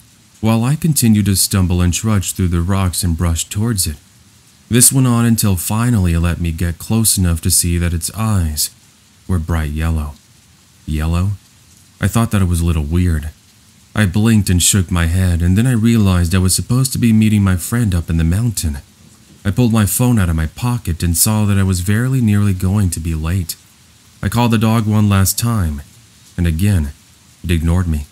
Slightly disappointed, I turned to head back to my car and was very startled to see how far I had wandered into the desert. It took me a good 15 minutes to stumble through the desert back to my car. I stopped occasionally to look back, and every time I did, the dog was standing in the same spot, still watching me intently. When I finally reached my car and began to drive away, I happened to glance in the rearview mirror and was deeply startled to see that the dog was standing in the middle of the road, watching me drive away. And again, it was as if it was making eye contact with me. How the heck did the dog make it to the middle of the road that quickly and without me hearing it? It would have had to have run across the desert, and because there were no people this far out into the desert, the desert is so silent, so I would have heard it. Anyways, by the time I made it down the road to the trailhead, I was deeply shaken by this whole encounter, but I was very happy to see my friend when he arrived. When I got home, I told my mom about the weird encounter with the dog. She didn't believe me, and she asked me to describe the dog. I did, and she asked if I was sure it wasn't a coyote. I insisted I was sure, and she said it sounded like it was a coyote and not to go following wild animals into the desert. About a week later, I had forgotten entirely about the weird experience with the dog. I was driving into town down one of the main roads into the community when I saw the dog. It was the same dog. I was positive, and it was standing on the shoulder on the opposite side of the road. This really freaked me out because we were a good 20 minutes by car from where we had seen the dog before. None of the other cars driving by seemed to notice the dog, or slow down, which was also really weird because it was a very large dog, probably about 85 pounds. But what was really scary was when I was a good 100 yards away from the dog, I realized it was staring at my car. As I drove past it, its head moved to follow my car. As I drove away, I looked in my rearview mirror, and the dog continued to watch me. This happened again a couple of weeks later. Both times I told my mother, and both times she told me that it was probably just a coyote, not to read too much into it. About a month later, around Thanksgiving, my father flew in from New England to visit us. One night, I got up to use the restroom and wash my face before going to sleep. Now, my room was in the back of the house, and the bathroom was right by the front door. The front door was all the way at the end of the hall, in the front of the house. To get there, I had to walk past my parents' room. Now, even though it was only about 9 o'clock, my parents were in their room already asleep. I just rounded the corner and I was about 10 paces away from the bathroom when I heard and saw the door handle of the front door shake and jiggle as if someone on the other side was shaking it trying to get in. I froze for what felt like an eternity. It was only about a minute, but I couldn't move or think. Now, when you walk into my granddad's house, you walk right into the dining room. The side of the dining room has a ceiling to floor window that is right next to the front door. The window is actually two separate windows a big, normal sized one, and a short one underneath that that starts a couple of inches above the floor and only goes about a foot. Both of these windows have blinds, and on this night the blinds were closed on both. Very, very slowly I inched past the front door, turned on the porch light, and moved to the window. There was no noise now, but there was gravel all around the house, so if the person had moved or left, I would have heard them. Crouching down, I knelt so that I was face level with the lower window and held my breath, expecting to see someone's ankles. Ever so slowly, I lifted one of the blinds and I peeked out. What I saw will forever be burned in my mind, and it still haunts my dreams. Standing on the doorstep was a black cat with huge yellow eyes, and it was right on the other side of the glass, face to face with me, staring right into my eyes. I shrieked and fell backwards, dropping the blind, and ran half crying into my parents' bedroom. I dragged my mother, half asleep, to the window and opened the blinds, but the cat was gone. I could tell that my mother still didn't fully believe me. How could a cat have reached the door handle to try and shake it? But the cat was the only thing outside. I know that I saw the doorknob shake, and I swear that the cat knew the exact spot where I was crouching and had its face against the glass and looking directly into my eyes when I opened the blinds. The most disturbing thing about this was that the cat and the dog from the side of the road had the same piercing, deep yellow eyes. I don't know what happened back then out in the desert, but creepy dog and scary dog, I hope I never see you again. My family and I had to sell our home that we lived in for 15 years. We eventually moved into our first apartment, as times were a little difficult back then.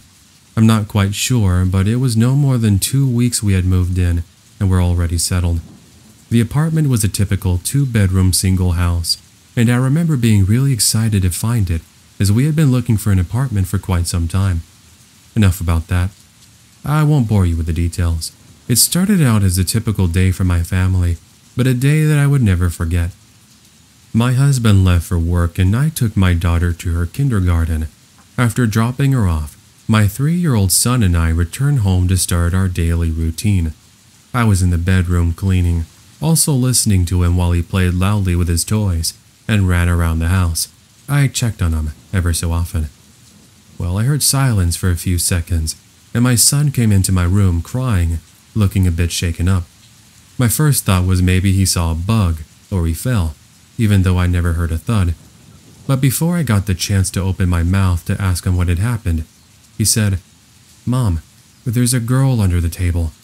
I sprang up and was taken aback because I was obviously sure that my daughter was at kindergarten and that there was no girl in the house, as I was and still am a very paranoid person. Now, I always locked the doors when my husband wasn't home, and the windows around the house had burglar proofing, so I was sure nobody was able to get in. Well, I walked down the corridor a bit curious, but certain that there's no girl in my home. My three year old son was walking closely behind me, by the way. I bent the corner to the dining room, stooping down, and I looked under the table. As I had expected, nobody was there. That thought was not the confusing or scary part. It's what happened after that sent chills that I still have to this day. I turned around expecting to see my son to be there, but he wasn't. So I exited the room and peered down the corridor to look for him. And there he was with a look of horror on his face. I tried to calm him down by telling him there was no girl under the table, but that only made him cry more. I mean, he was three years old, and the look on his face was a mix of pure scared and confusion. I held him by the hand, trying to get him into the room to prove to him that there was no girl but as I held his hands to bring him around the corner, he pulled away and shrieked with genuine fear. That's when I knew that my son had definitely saw something, and whatever it was, scared him to the bone, literally. As a mother myself, I wouldn't wish that any mother would ever have to see their child going through something so scary, not even being able to see or understand what they're experiencing. Even though it took some time, with me trying to convince him over and over that he can trust mommy and that the girl he saw was gone, he finally reluctantly peered around the wall that separated the corridor from the dining room, not even fully wanting to enter into the dining room. Thankfully, his facial expression told me that he also didn't see the girl, and as I looked at his innocent face, I could tell he was relieved, but still not a 100% trusting to enter the dining room. It took a good week for him to be able to forget about what happened and to be able to go into that room by himself. As for me, I honestly would love to tell myself what he experienced was brought on by the overactive imagination of a three year old. But my mind also wanders off to what if it was something really supernatural.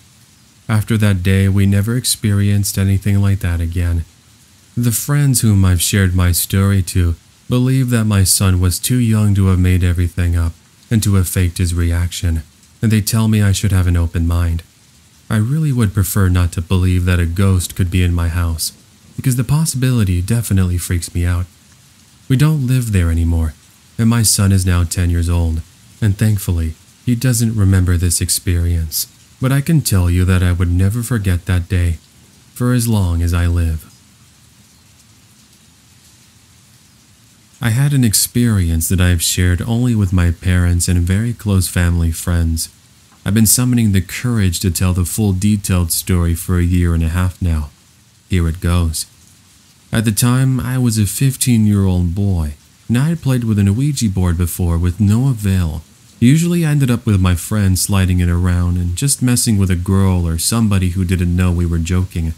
I recently moved from one part of town to the other, which I liked more because I had more friends at my new high school. We ended up buying a large house for mainly security reasons, and we wanted something more private and better security in a safe part of town. The house is Victorian style, and like I said, it's very big. My dad left with my mom to treat her to a beach vacation on her birthday, and my other siblings are all gone, spending the weekend at a friend's house. I asked my mom if I could have three of my friends to stay at the house since they all lived in apartments, and I couldn't stay with them due to the size and their parents. She said yes, so we all hung out at my place. It was a Saturday night, and we watched the Dodgers game on TV, and as we ate food, Colby said he had brought his Ouija board. I was pumped up that the basement had a big room that was unfinished. We had some boxes down there, but that was the best place as it was just all around creepy. We also had a laundry chute that fell down there too. Davis and Ty wanted to go to this room, so we all hustled down the stairs and got setting up in the room. We placed the Ouija board down and we started the session. Is anybody there? Colby asked first. The planchette stood still when it slowly slid to yes. This didn't surprise me or anybody else, as we figured it was just the other person doing it. The laughing, I asked if they were a boy or a girl. The planchette moved a yes. This was dumb, and I said, Guys, if you're gonna screw with it, make it believable. Ty said it wasn't me, then Davis, and Colby. But in the middle of Colby speaking, it slid with ease, spelling out there are two. Come on, you guys, this isn't funny anymore, I said as my hair stood on my neck. Davis was stuttering this out. Colby, you better stop. Colby was usually the troublemaker and the one that we thought that was messing with us, but he was as pale as Ty. Say goodbye, dude. Say goodbye, Ty chimed in on the verge of crying. Colby ended up asking, What's your name? It ended up spelling out, Leave. Ty was done. He was petrified. Davis said, What do you want? It spelled out not important. And Ty was now done. He was practically screaming, Dude, just end it. It then ended up spelling out without us asking a question. Listen. We all went quiet. This inhumane feeling suddenly took over, and this is when we heard a woman yelling upstairs repeatedly, Look, look, look. The planchette was now shaking, and the laundry chute door was banging. There was definitely something in the room. At this moment, I definitely felt as if everybody was crying, and I heard wailing like a banshee. Look, she was screaming from everywhere, and the planchette rattled on the board. I had enough, so I screamed a goodbye, but the planchette wouldn't move. I cried to God, please, just stop, take this away. I thought I was going to pass out, as it just got louder. Colby was screaming sounds an animal could not make. He was in the fetal position. I was the only person holding the planchette now. I screamed, Leave me alone. The planchette slid in circles, going to the moon on the board, as I grabbed it and said, Goodbye. My eyes were closed now. The screaming was now getting quiet, and the board still rattled. Ty had gotten up now, as we were all sweating and tired. We broke the board and we swore it off. I ended up sleeping at Davis's house that night, too scared to go to mine. I sometimes at night feel breathing through my sheets and on me. I have these dreams of that room completely empty except for a coffin in the middle. I'm still scared when I'm writing this out to you. Anybody thinking about playing with an Ouija board?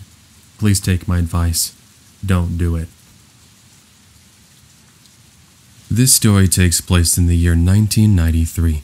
I was a sophomore in high school. I must emphasize the importance of this year, as cell phones, internet, and effortless forms of mass communication at your fingertips was non existent. There are ample amounts of backstory, but I cannot get into it, and I feel this story is the only way I can safely tell it. You'll understand why as the story goes on. At this time in my life, My friends and I were very carelessly using an Ouija board that I found in my deceased great uncle's attic after he passed away. Again, I won't go into many details here other than it was wooden, old, and had no instructions. We took it home, and my sisters and I, along with my friends, began to play with it. Weeks went by, and so did a few months, and a lot of stuff happened in my house with my friends. Me strongly being a believer in the paranormal didn't question much of what was happening, as it was witnessed not just by myself, but many others. I saw such occurrences change the beliefs of skeptics in a matter of moments. I was horrified most of the time, sleeping with my lights always on or never alone. At times, I was even amused by it. We'll use the term it here as I can and will not call it by its name. Then came a day in early spring of 1993 that my friends and I were sitting at a round table in the library of our high school. The topic always seemed to circle back around what was happening in my house. There were four of us sitting at the table myself, Monica, Kim, and Suzanne. I was beginning to get a little agitated, and I began to feel arrogant. So arrogant that I said aloud to my friends almost these exact words If you're so powerful, and so real, then you wouldn't be stuck in my house. So show us a sign you can hear us beyond there in the board. And just like that, the lights went out in the entire library and school for about five seconds. When they came back on, I continued my overconfident banter by laughing and saying aloud, Really? That's all you have? The bell rang shortly after, it was time to go home. I didn't think much of the incident after, but knew my egotistical faked act may have some consequences down the line. That night when I fell asleep, I had a dream. I'm not even sure I can call it that. I can't even call it a nightmare either because it just feels so unreal. This was one of those dreams, or visions if you may, that you wake up from and feel it. You can even recite every line in detail as if you were still in it. To this day, I can still feel the resonation and remember every bit. The dream starts off in the morning as I begin to walk into school from this street. I'm immediately plagued with a sense of horror and a sense that I was slowly being chased. There was a procession of black hooded figures, fully cloaked, no signs of human life underneath, just a human form. There were six of them, all with their heads down. It was broad daylight, by the way, and they were each carrying a torch. In the middle of them was a very tall figure, again all in black, with a red stripe in front of his cloak. He was not carrying a torch, but rather a long, pewter staff of some sort. This is when I stopped studying the details of who it was. I knew who it was, and I knew they were after me, especially him. By the way, they weren't running or in any type of haste. The procession was slow and methodical. I remember running into school fast and frantically began to look for a hiding spot in the library as that's where my dream put me. I quickly jumped over those bookshelves which were low to the ground, both in dream world and in real world, and balled up on a shelf hiding and praying not to be found. I then woke up, breathless. I said few words as I got ready for school and onto the bus that morning. None of my friends involved in the library situation or the Ouija stuff in general were on the same bus route. I dared not speak a word to it to the kids I rode with on the bus, as most of them I despised. When I arrived at school, finding my friends Monica and Kim waiting for me at the north entrance as they did every morning, I began to tell them the details of the dream. We had just entered the main hallway as I was finishing the dream details, when running from the south entrance was a very pretty good distance from us, Suzanne. I didn't feel I needed to drive home the point that there were no cell phones and no conceivable ways for Suzanne getting any of this information. This is exactly as it happened. It's 100% accurate. Trying as hard as she could to catch her breath, she looked at me and said, I have a message from you. From him. Not it, I must emphasize. Tell Nicole she can't run, but she can't hide. To this day, every time I tell this story, I envision him laughing and still saying, I found you. So there are two parts. The first part is from what my friends told me about their experience at this place, and the second part was when I went with them the second time. So again, a bit of backstory and layout. This place is called Proctor Valley Road. Apart from it being right near the border of the US and Mexico, it's a well known spot for drug cartel activity and Norse patrol patrolling. There are a lot of fun stories with it. This is some sort of minotaur like creature that eats people, a ghost lady who flags down your car and asks for a ride, and ends up killing you whether you give her a ride or not. A demon car that is really only headlights that'll chase you through, not to do anything really. And then just some other random occurrences. It starts out on one end from a series of empty back streets, then just turns into a totally void and empty, really bumpy dirt road. It goes on for miles and abruptly ends on a very nice paved road near a housing development. So the first time we were going to go, I was not feeling great and cancelled, but my friends went anyway. This is what they told me about what went on. On their drive through there, they suddenly saw headlights approaching fast. Of course, their first thought was the demon car, but what freaked them out is that all they could see were the headlights. Now, again, middle of nowhere dirt road and it's pitch black. The car had its brights on, so it makes sense that the car might be a black car, or something that they couldn't see. It was tailgating them for a while, and you can't drive fast on this road unless maybe you have a good off-road vehicle. So they just stayed calm, and finally the car swerved around them and went past them. Again, they couldn't see a car at all. They saw the headlights and tail lights, no plates or anything, just the lights. What could it have been? Who knows, but they were pretty shaken up about it. So about a week later, we decided to go again. I had to see this place for myself. So again, we drove down there and end up in the back roads and thinning out neighborhoods. This is when suddenly we hit the first road, and here we are. It's super bumpy, and we have no choice really but to crawl along at about 10 to 15 miles an hour to avoid any damage to the car, or worse, ourselves. Now, once we get onto the road, my friend's girlfriend just bursts into tears. She starts hyperventilating and freaking out. For some reason, she's just scared out of her mind and she won't talk to us, and she's just crying. Now, she's a very tough person, intimidating really. She's not the kind of person to just get scared or back down from anything easily. Not now. She was reduced to nothing but tears, sobs, and gasps for breath. Our other friend was in the back with her and was doing his best to comfort her, and my friend driving just got us out of there as fast as he could. About halfway back, I suddenly had this horrible feeling of anxiety, like something wasn't right at all. My friend's girlfriend was still crying hysterically. My friend frantically just looked annoyed and wanted to leave. At one point, I remember we were having trouble getting up a hill and not getting great traction, my friend put the car in park and was saying he was going to get out and see if he could get us some traction. By this point, not only was his girlfriend still crying, but now I was having a horrible gut feeling. Something wasn't right, and I almost felt like something was watching us. Not someone, but something. I felt this unnatural presence, and I was freaked out.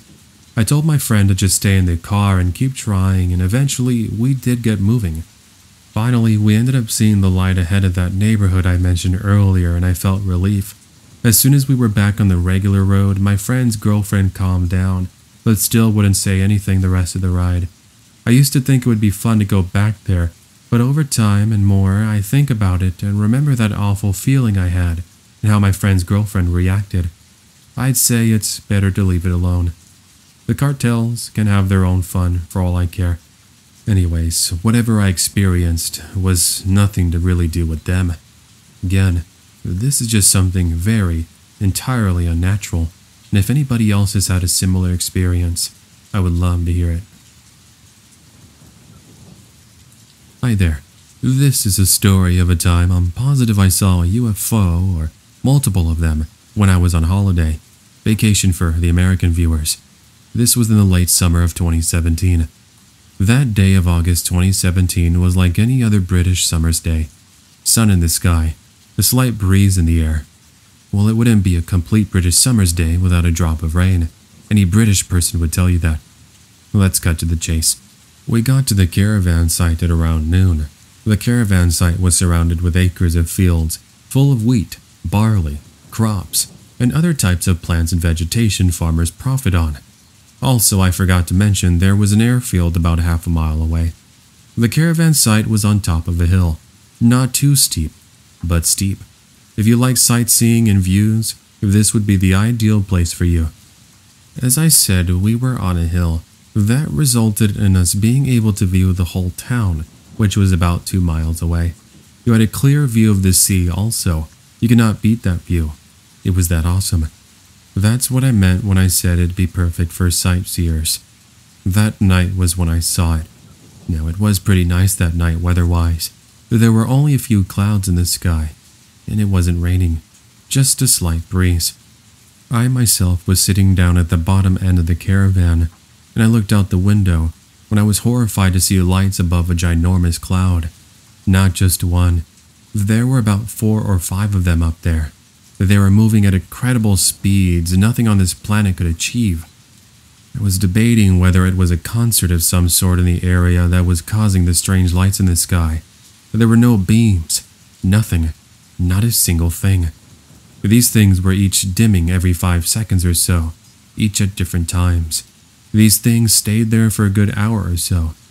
It was now about 10 p.m., and I was sleepy as heck after the long journey. Thus, I was paying more attention to laying my head on a pillow rather than the paranormal.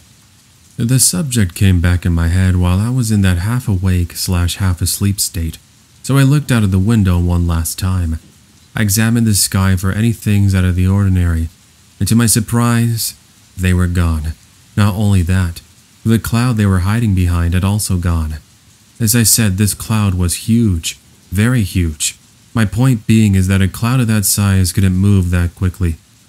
Could this phenomena be the cause of the crop circles in the area that have occurred over the years? Maybe.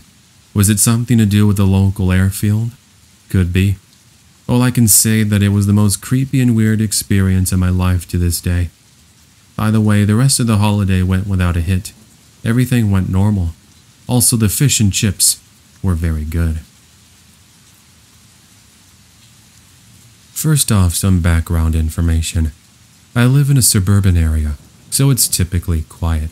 My friend and I have known each other for a long time now, going on nine years. Let's call her Summer.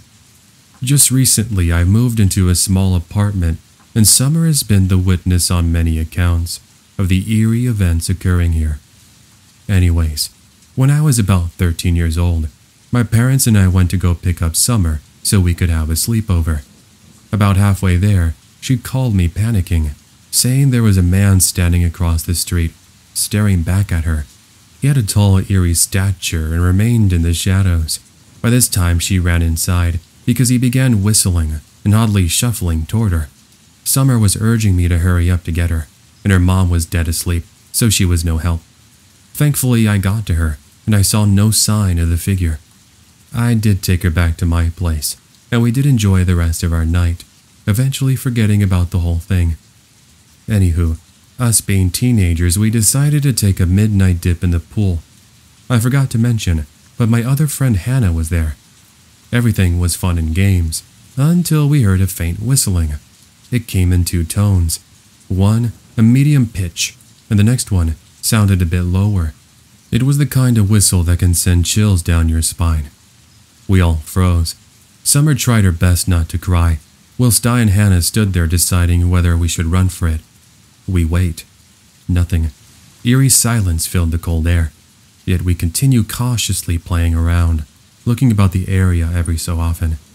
Then, we all saw it. I instantly get the chills. A tall, dark figure stood there, staring back at all of us. Now, at this moment, Hannah was underwater, so I yanked her up by the arm as she took a surprised gasp of air. I told her quietly, we should go, and we booked it out of there. We ran so fast to where the ground seemed to go in slow motion, and I didn't want to stop. Eventually, we got inside and we calmed down, but we couldn't stop talking about it. And you know that awkward silence you sometimes have with your friends when you stop your conversation because you have to find something new to say? Well, that happened to us, and just as Hannah opened her mouth to speak, we heard it the faint whistle. A few moments later, my mom peeped her head in the room, and she said while glaring at me, Was that you? No, I said, shaking, chills all over. To this day, I haven't figured out the cause or the meaning of these events. but I hope I never see that shadow man or hear that whistle ever again. I really don't know how to start this story off, but I'll try my best. So I was 16 when this happened, and my mom had just left to go to a banquet she was invited to. I didn't want to attend since I knew nobody who was attending the banquet. Besides, some of the teachers who I didn't really feel like talking to were going, and also I don't like big crowds. So my mom let me stay home, but not knowing how long she was going to be gone kinda did worry me, but I never did complain. Now let's get into the scary part of this story. My mom had been gone for around 30 minutes before the start of this happening. I was sitting in the living room watching YouTube videos on our TV. Then nature started calling, and I went to the bathroom. At some point, my mom had told me that one of my cousins was coming over to get something and wouldn't be staying long. Now, our bathroom door is really thin, so you could basically hear anything happening in the hallway, and sometimes in the living room since the bathroom is the closest room to the living room. After shutting off the faucet, the TV had shut off. I knew this because I had it blasting minutes before, since I wanted to listen to it while I was in the bathroom. Thinking that my cousin had came in and shut the TV off, I was pretty mad. After waiting a couple of seconds, I stormed out of the bathroom, ready to sarcastically accuse my cousin of turning the TV off. But guess what? When I was in the living room, nobody. So I checked the kitchen. No one. We live in a one story house, no basement or anywhere someone could really go to hide away from someone, and you couldn't get into the attic without going to get a ladder. And besides, we didn't even own a ladder. I checked all the rooms in her house, even the closets in the backyard, but there was no one. Feeling a little creeped out, I just blow it off and went back into the living room, turning the TV back on before heading back into the kitchen, putting on some popcorn and standing by the microwave, waiting for it to be done. Then, the TV shut off again. Kind of annoyed, I stormed into the living room. With the most accusing voice I could muster up, I shouted. I was watching that, believing that my cousin was pulling a trick on me. But there was no one. I jumped lightly when the microwave starts going off, slinking back into the kitchen to retrieve my popcorn. After I had retrieved my popcorn, I had returned to my spot on the couch in the living room, deciding I wouldn't get up to look for anyone or anything. I would let them play their game and not get caught, forcing them to reveal themselves since I wasn't going to hunt them down. To this day, noises still happen in my house, but that's a story for another day. Hi, mate. I'm a big fan and have a few stories to share, but I never find the time to do it, so today I'm making that time. This was a few years ago. I was about 16 years old at the time. My family and I moved around a lot. It always took me a little while to feel comfortable and settle into a new place. This particular home we moved into backed onto a large bush area. I'm Australian, so I guess you'd say forest area. Anyway, I was in the backyard later one afternoon when I noticed this one lady from next door was out in her backyard with her golden retriever. We say hello to each other, and we have some small talk too. But all of a sudden, we hear a loud growling type noise that sent shivers down my spine and gave me goosebumps. I looked towards the bush and I noticed a lot of birds fleeing and squawking like they were spooked too.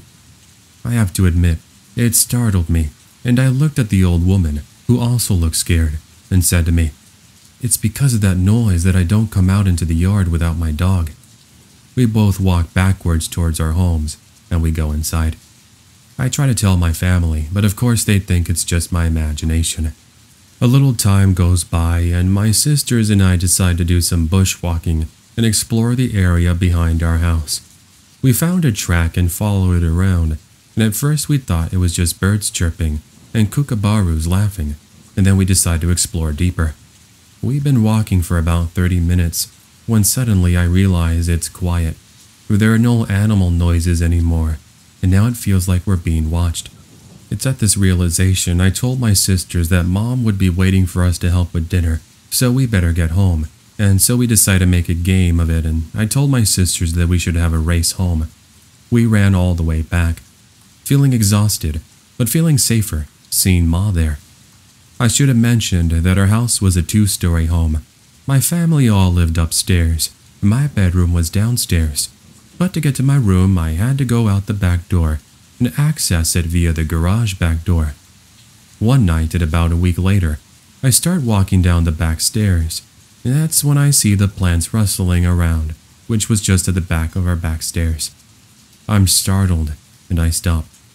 I slowly started to walk backwards up the stairs and I don't take my eyes off the spot where I saw the plants rustle. They rustle again and I call out to my ma, Mom! She comes running out and I told her what's happened. She thinks it's just my imagination, but grabs a knife and her torch. We did go down the stairs and look, and there's nothing there. But what we did notice is that there was a large flat area in the middle of the plants, as if someone or something was sitting there. She tells me it's probably just a dog and tells me to go to bed. I lock the door to the garage, and then I make sure the windows were also locked before I lock my bedroom door as well. I have trouble going to sleep that night, and the next few nights following that too. Then one night I couldn't settle, and I'm rolling back and forth, and this is when I hear a noise outside my bedroom window. At first I didn't think anything of it.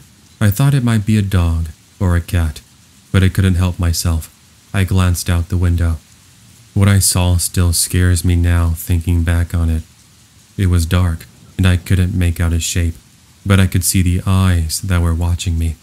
They were red. I was so scared that I couldn't scream and I couldn't speak. It just stared at me, and I was just looking at it. Suddenly, I found some courage to look away, and when I looked back, thankfully I noticed that the window was locked. I noticed now the eyes following me, and that's when it crouched down out of sight. I quickly ran to my bedroom door to make sure it was still locked. Thankfully, it was, I jammed my closet door against the door, so I felt safe. I did eventually fall asleep. About a year after we moved there, the developers started building new homes in that bush. The more homes that were built, the less creepy it felt, and all the weirdness stopped. I never found out what it was, but I was glad that my neighbors also experienced something too, or I might have thought I was crazy. Hello, I have a creepy story I'd like to share with you that you might like to share on your channel. Okay, so I'm female. I was 18 at the time, attending community college full time. I've always been super shy my whole life, so I suck at making friends. But this guy in my art class was super nice to me, and we decided to kick it. We would skip classes all the time, go for creepy drives, and explore some shallow wooded areas. For some stupid reason, one day we decided Hey, let's play with an Ouija board. But not just any Ouija board. Let's make our own. So we left class and went to a consignment shop in our downtown to see if we could find some sort of antique wooden surface to create this on. We ended up finding an old, like really, really old wooden briefcase. We ended up buying and went to my friend's house to work on it. We took it apart and used one of the sides to turn it into an Ouija board. We weren't the greatest creative masterminds, so we decided to draw the Ouija on there with just Sharpies. I remember thinking, yeah, Sharpies on wood? Real scary. It came out pretty mediocre. I remember that. For some reason, we decided to go to Walmart. Now, this was over five years ago, so I can't remember exactly why, but it probably had to do with touching up on the Ouija board, because we tossed it in the trunk and went on our way. We were at a stop sign close to the Walmart, and it was my turn to go. The turn is a little weird. You have to take a right and then an immediate left. So I took the first right, and when I took the left, my car spun out of control. It had never done this before. It had passed inspection. I had no idea what happened. I just remember screaming. It had rained hours earlier, so the weather was still gloomy, but there was definitely no puddles for my car to slip on. My car had spun out, and we ended up on the other side of the road where cars would be coming out of the street that I was going into. I was so startled I couldn't even cry. My friend was in the passenger seat and just laughed. I got so mad. If a car had been there waiting to turn out of the street I spun out on, I would have hit him. The passenger side would have hit him too. I could have killed my friend in the passenger seat and the driver of the other car. Anyway, we definitely lucked out. and I got back on the road to go to Walmart. We got there, and I just remember having this heavy feeling of dread, like I just wanted to leave so badly. I didn't want to work on an Ouija board. I didn't want to look at this kid. I wanted to go home. I asked my friend to leave, still surprised at his lack of concern at almost freaking dying.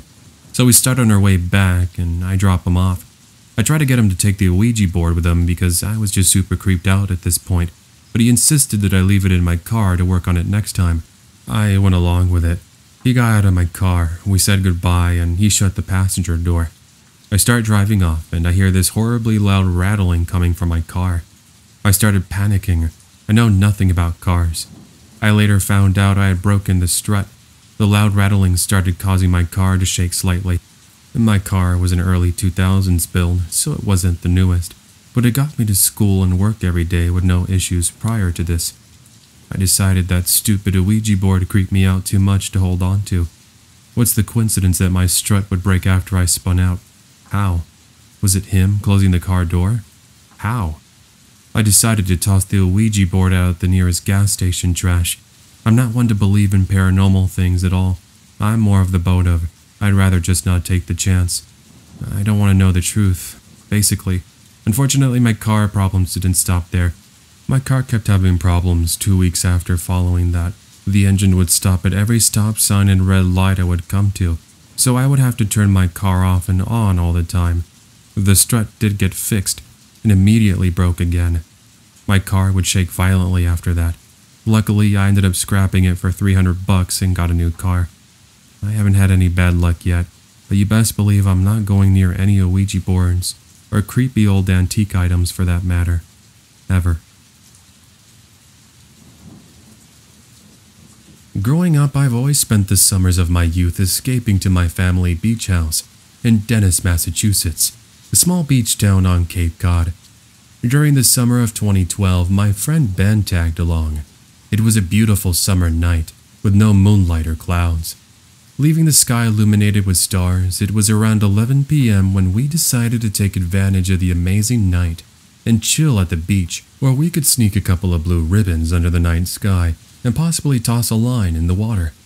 We arrived at the beach and parked ourselves in our wooden chairs, and were sharing a conversation when moments later a perfectly round reddish-orange spear appeared on the horizon over the Nantucket Sound. At first I thought it was a star, but then Ben said, Do you see that? I replied with, Yeah, I was just about to say the same thing. We said this in astonishment, going further to say it looked like a UFO. However, we just laughed and neither of us took our own claim seriously.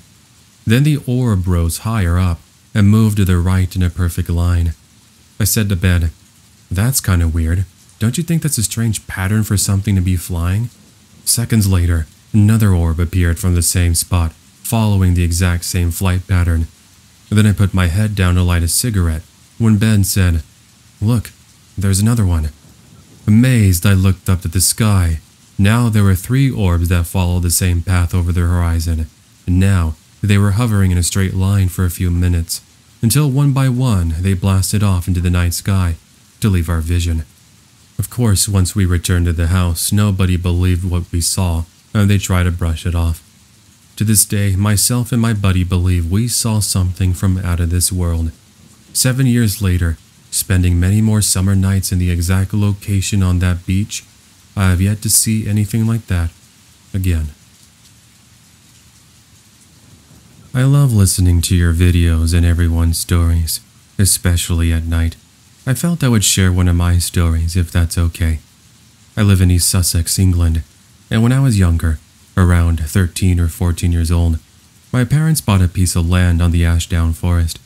It was around 4 acres. My dad is a builder, so we got planning permission to build a few stables tack room, and barn. We had a few horses, and being able to hack out onto the forest was excellent.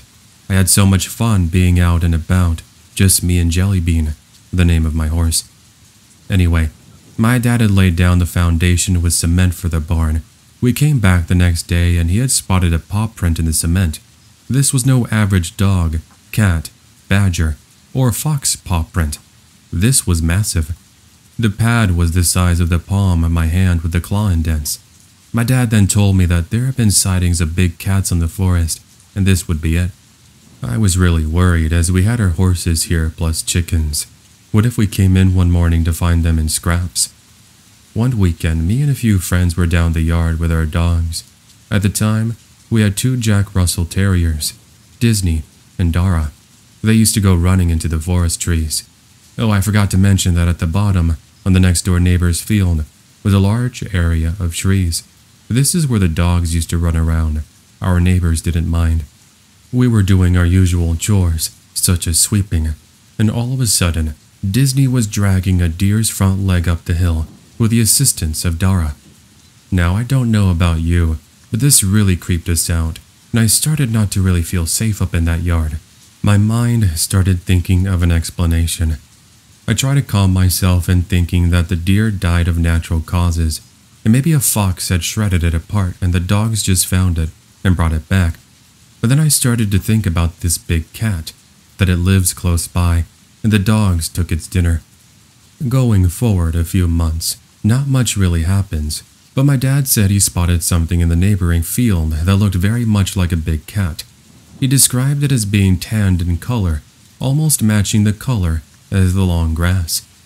We decided to have a gathering with a group of friends one day. We set up a fire near the bottom of our field. Now it was getting dark, so we left the yard lights on so we could see our way back a bit better. We had split the field so the horses couldn't bother us or go near the fire when it was lit. We were playing games and having fun when I noticed the horses were going a bit mad, running around and snorting. So I went over to check up on them to see if I could calm them down. I walked up the hill and ended up near the top by the yard. The horses were looking down the field at the clump of trees in the neighboring field.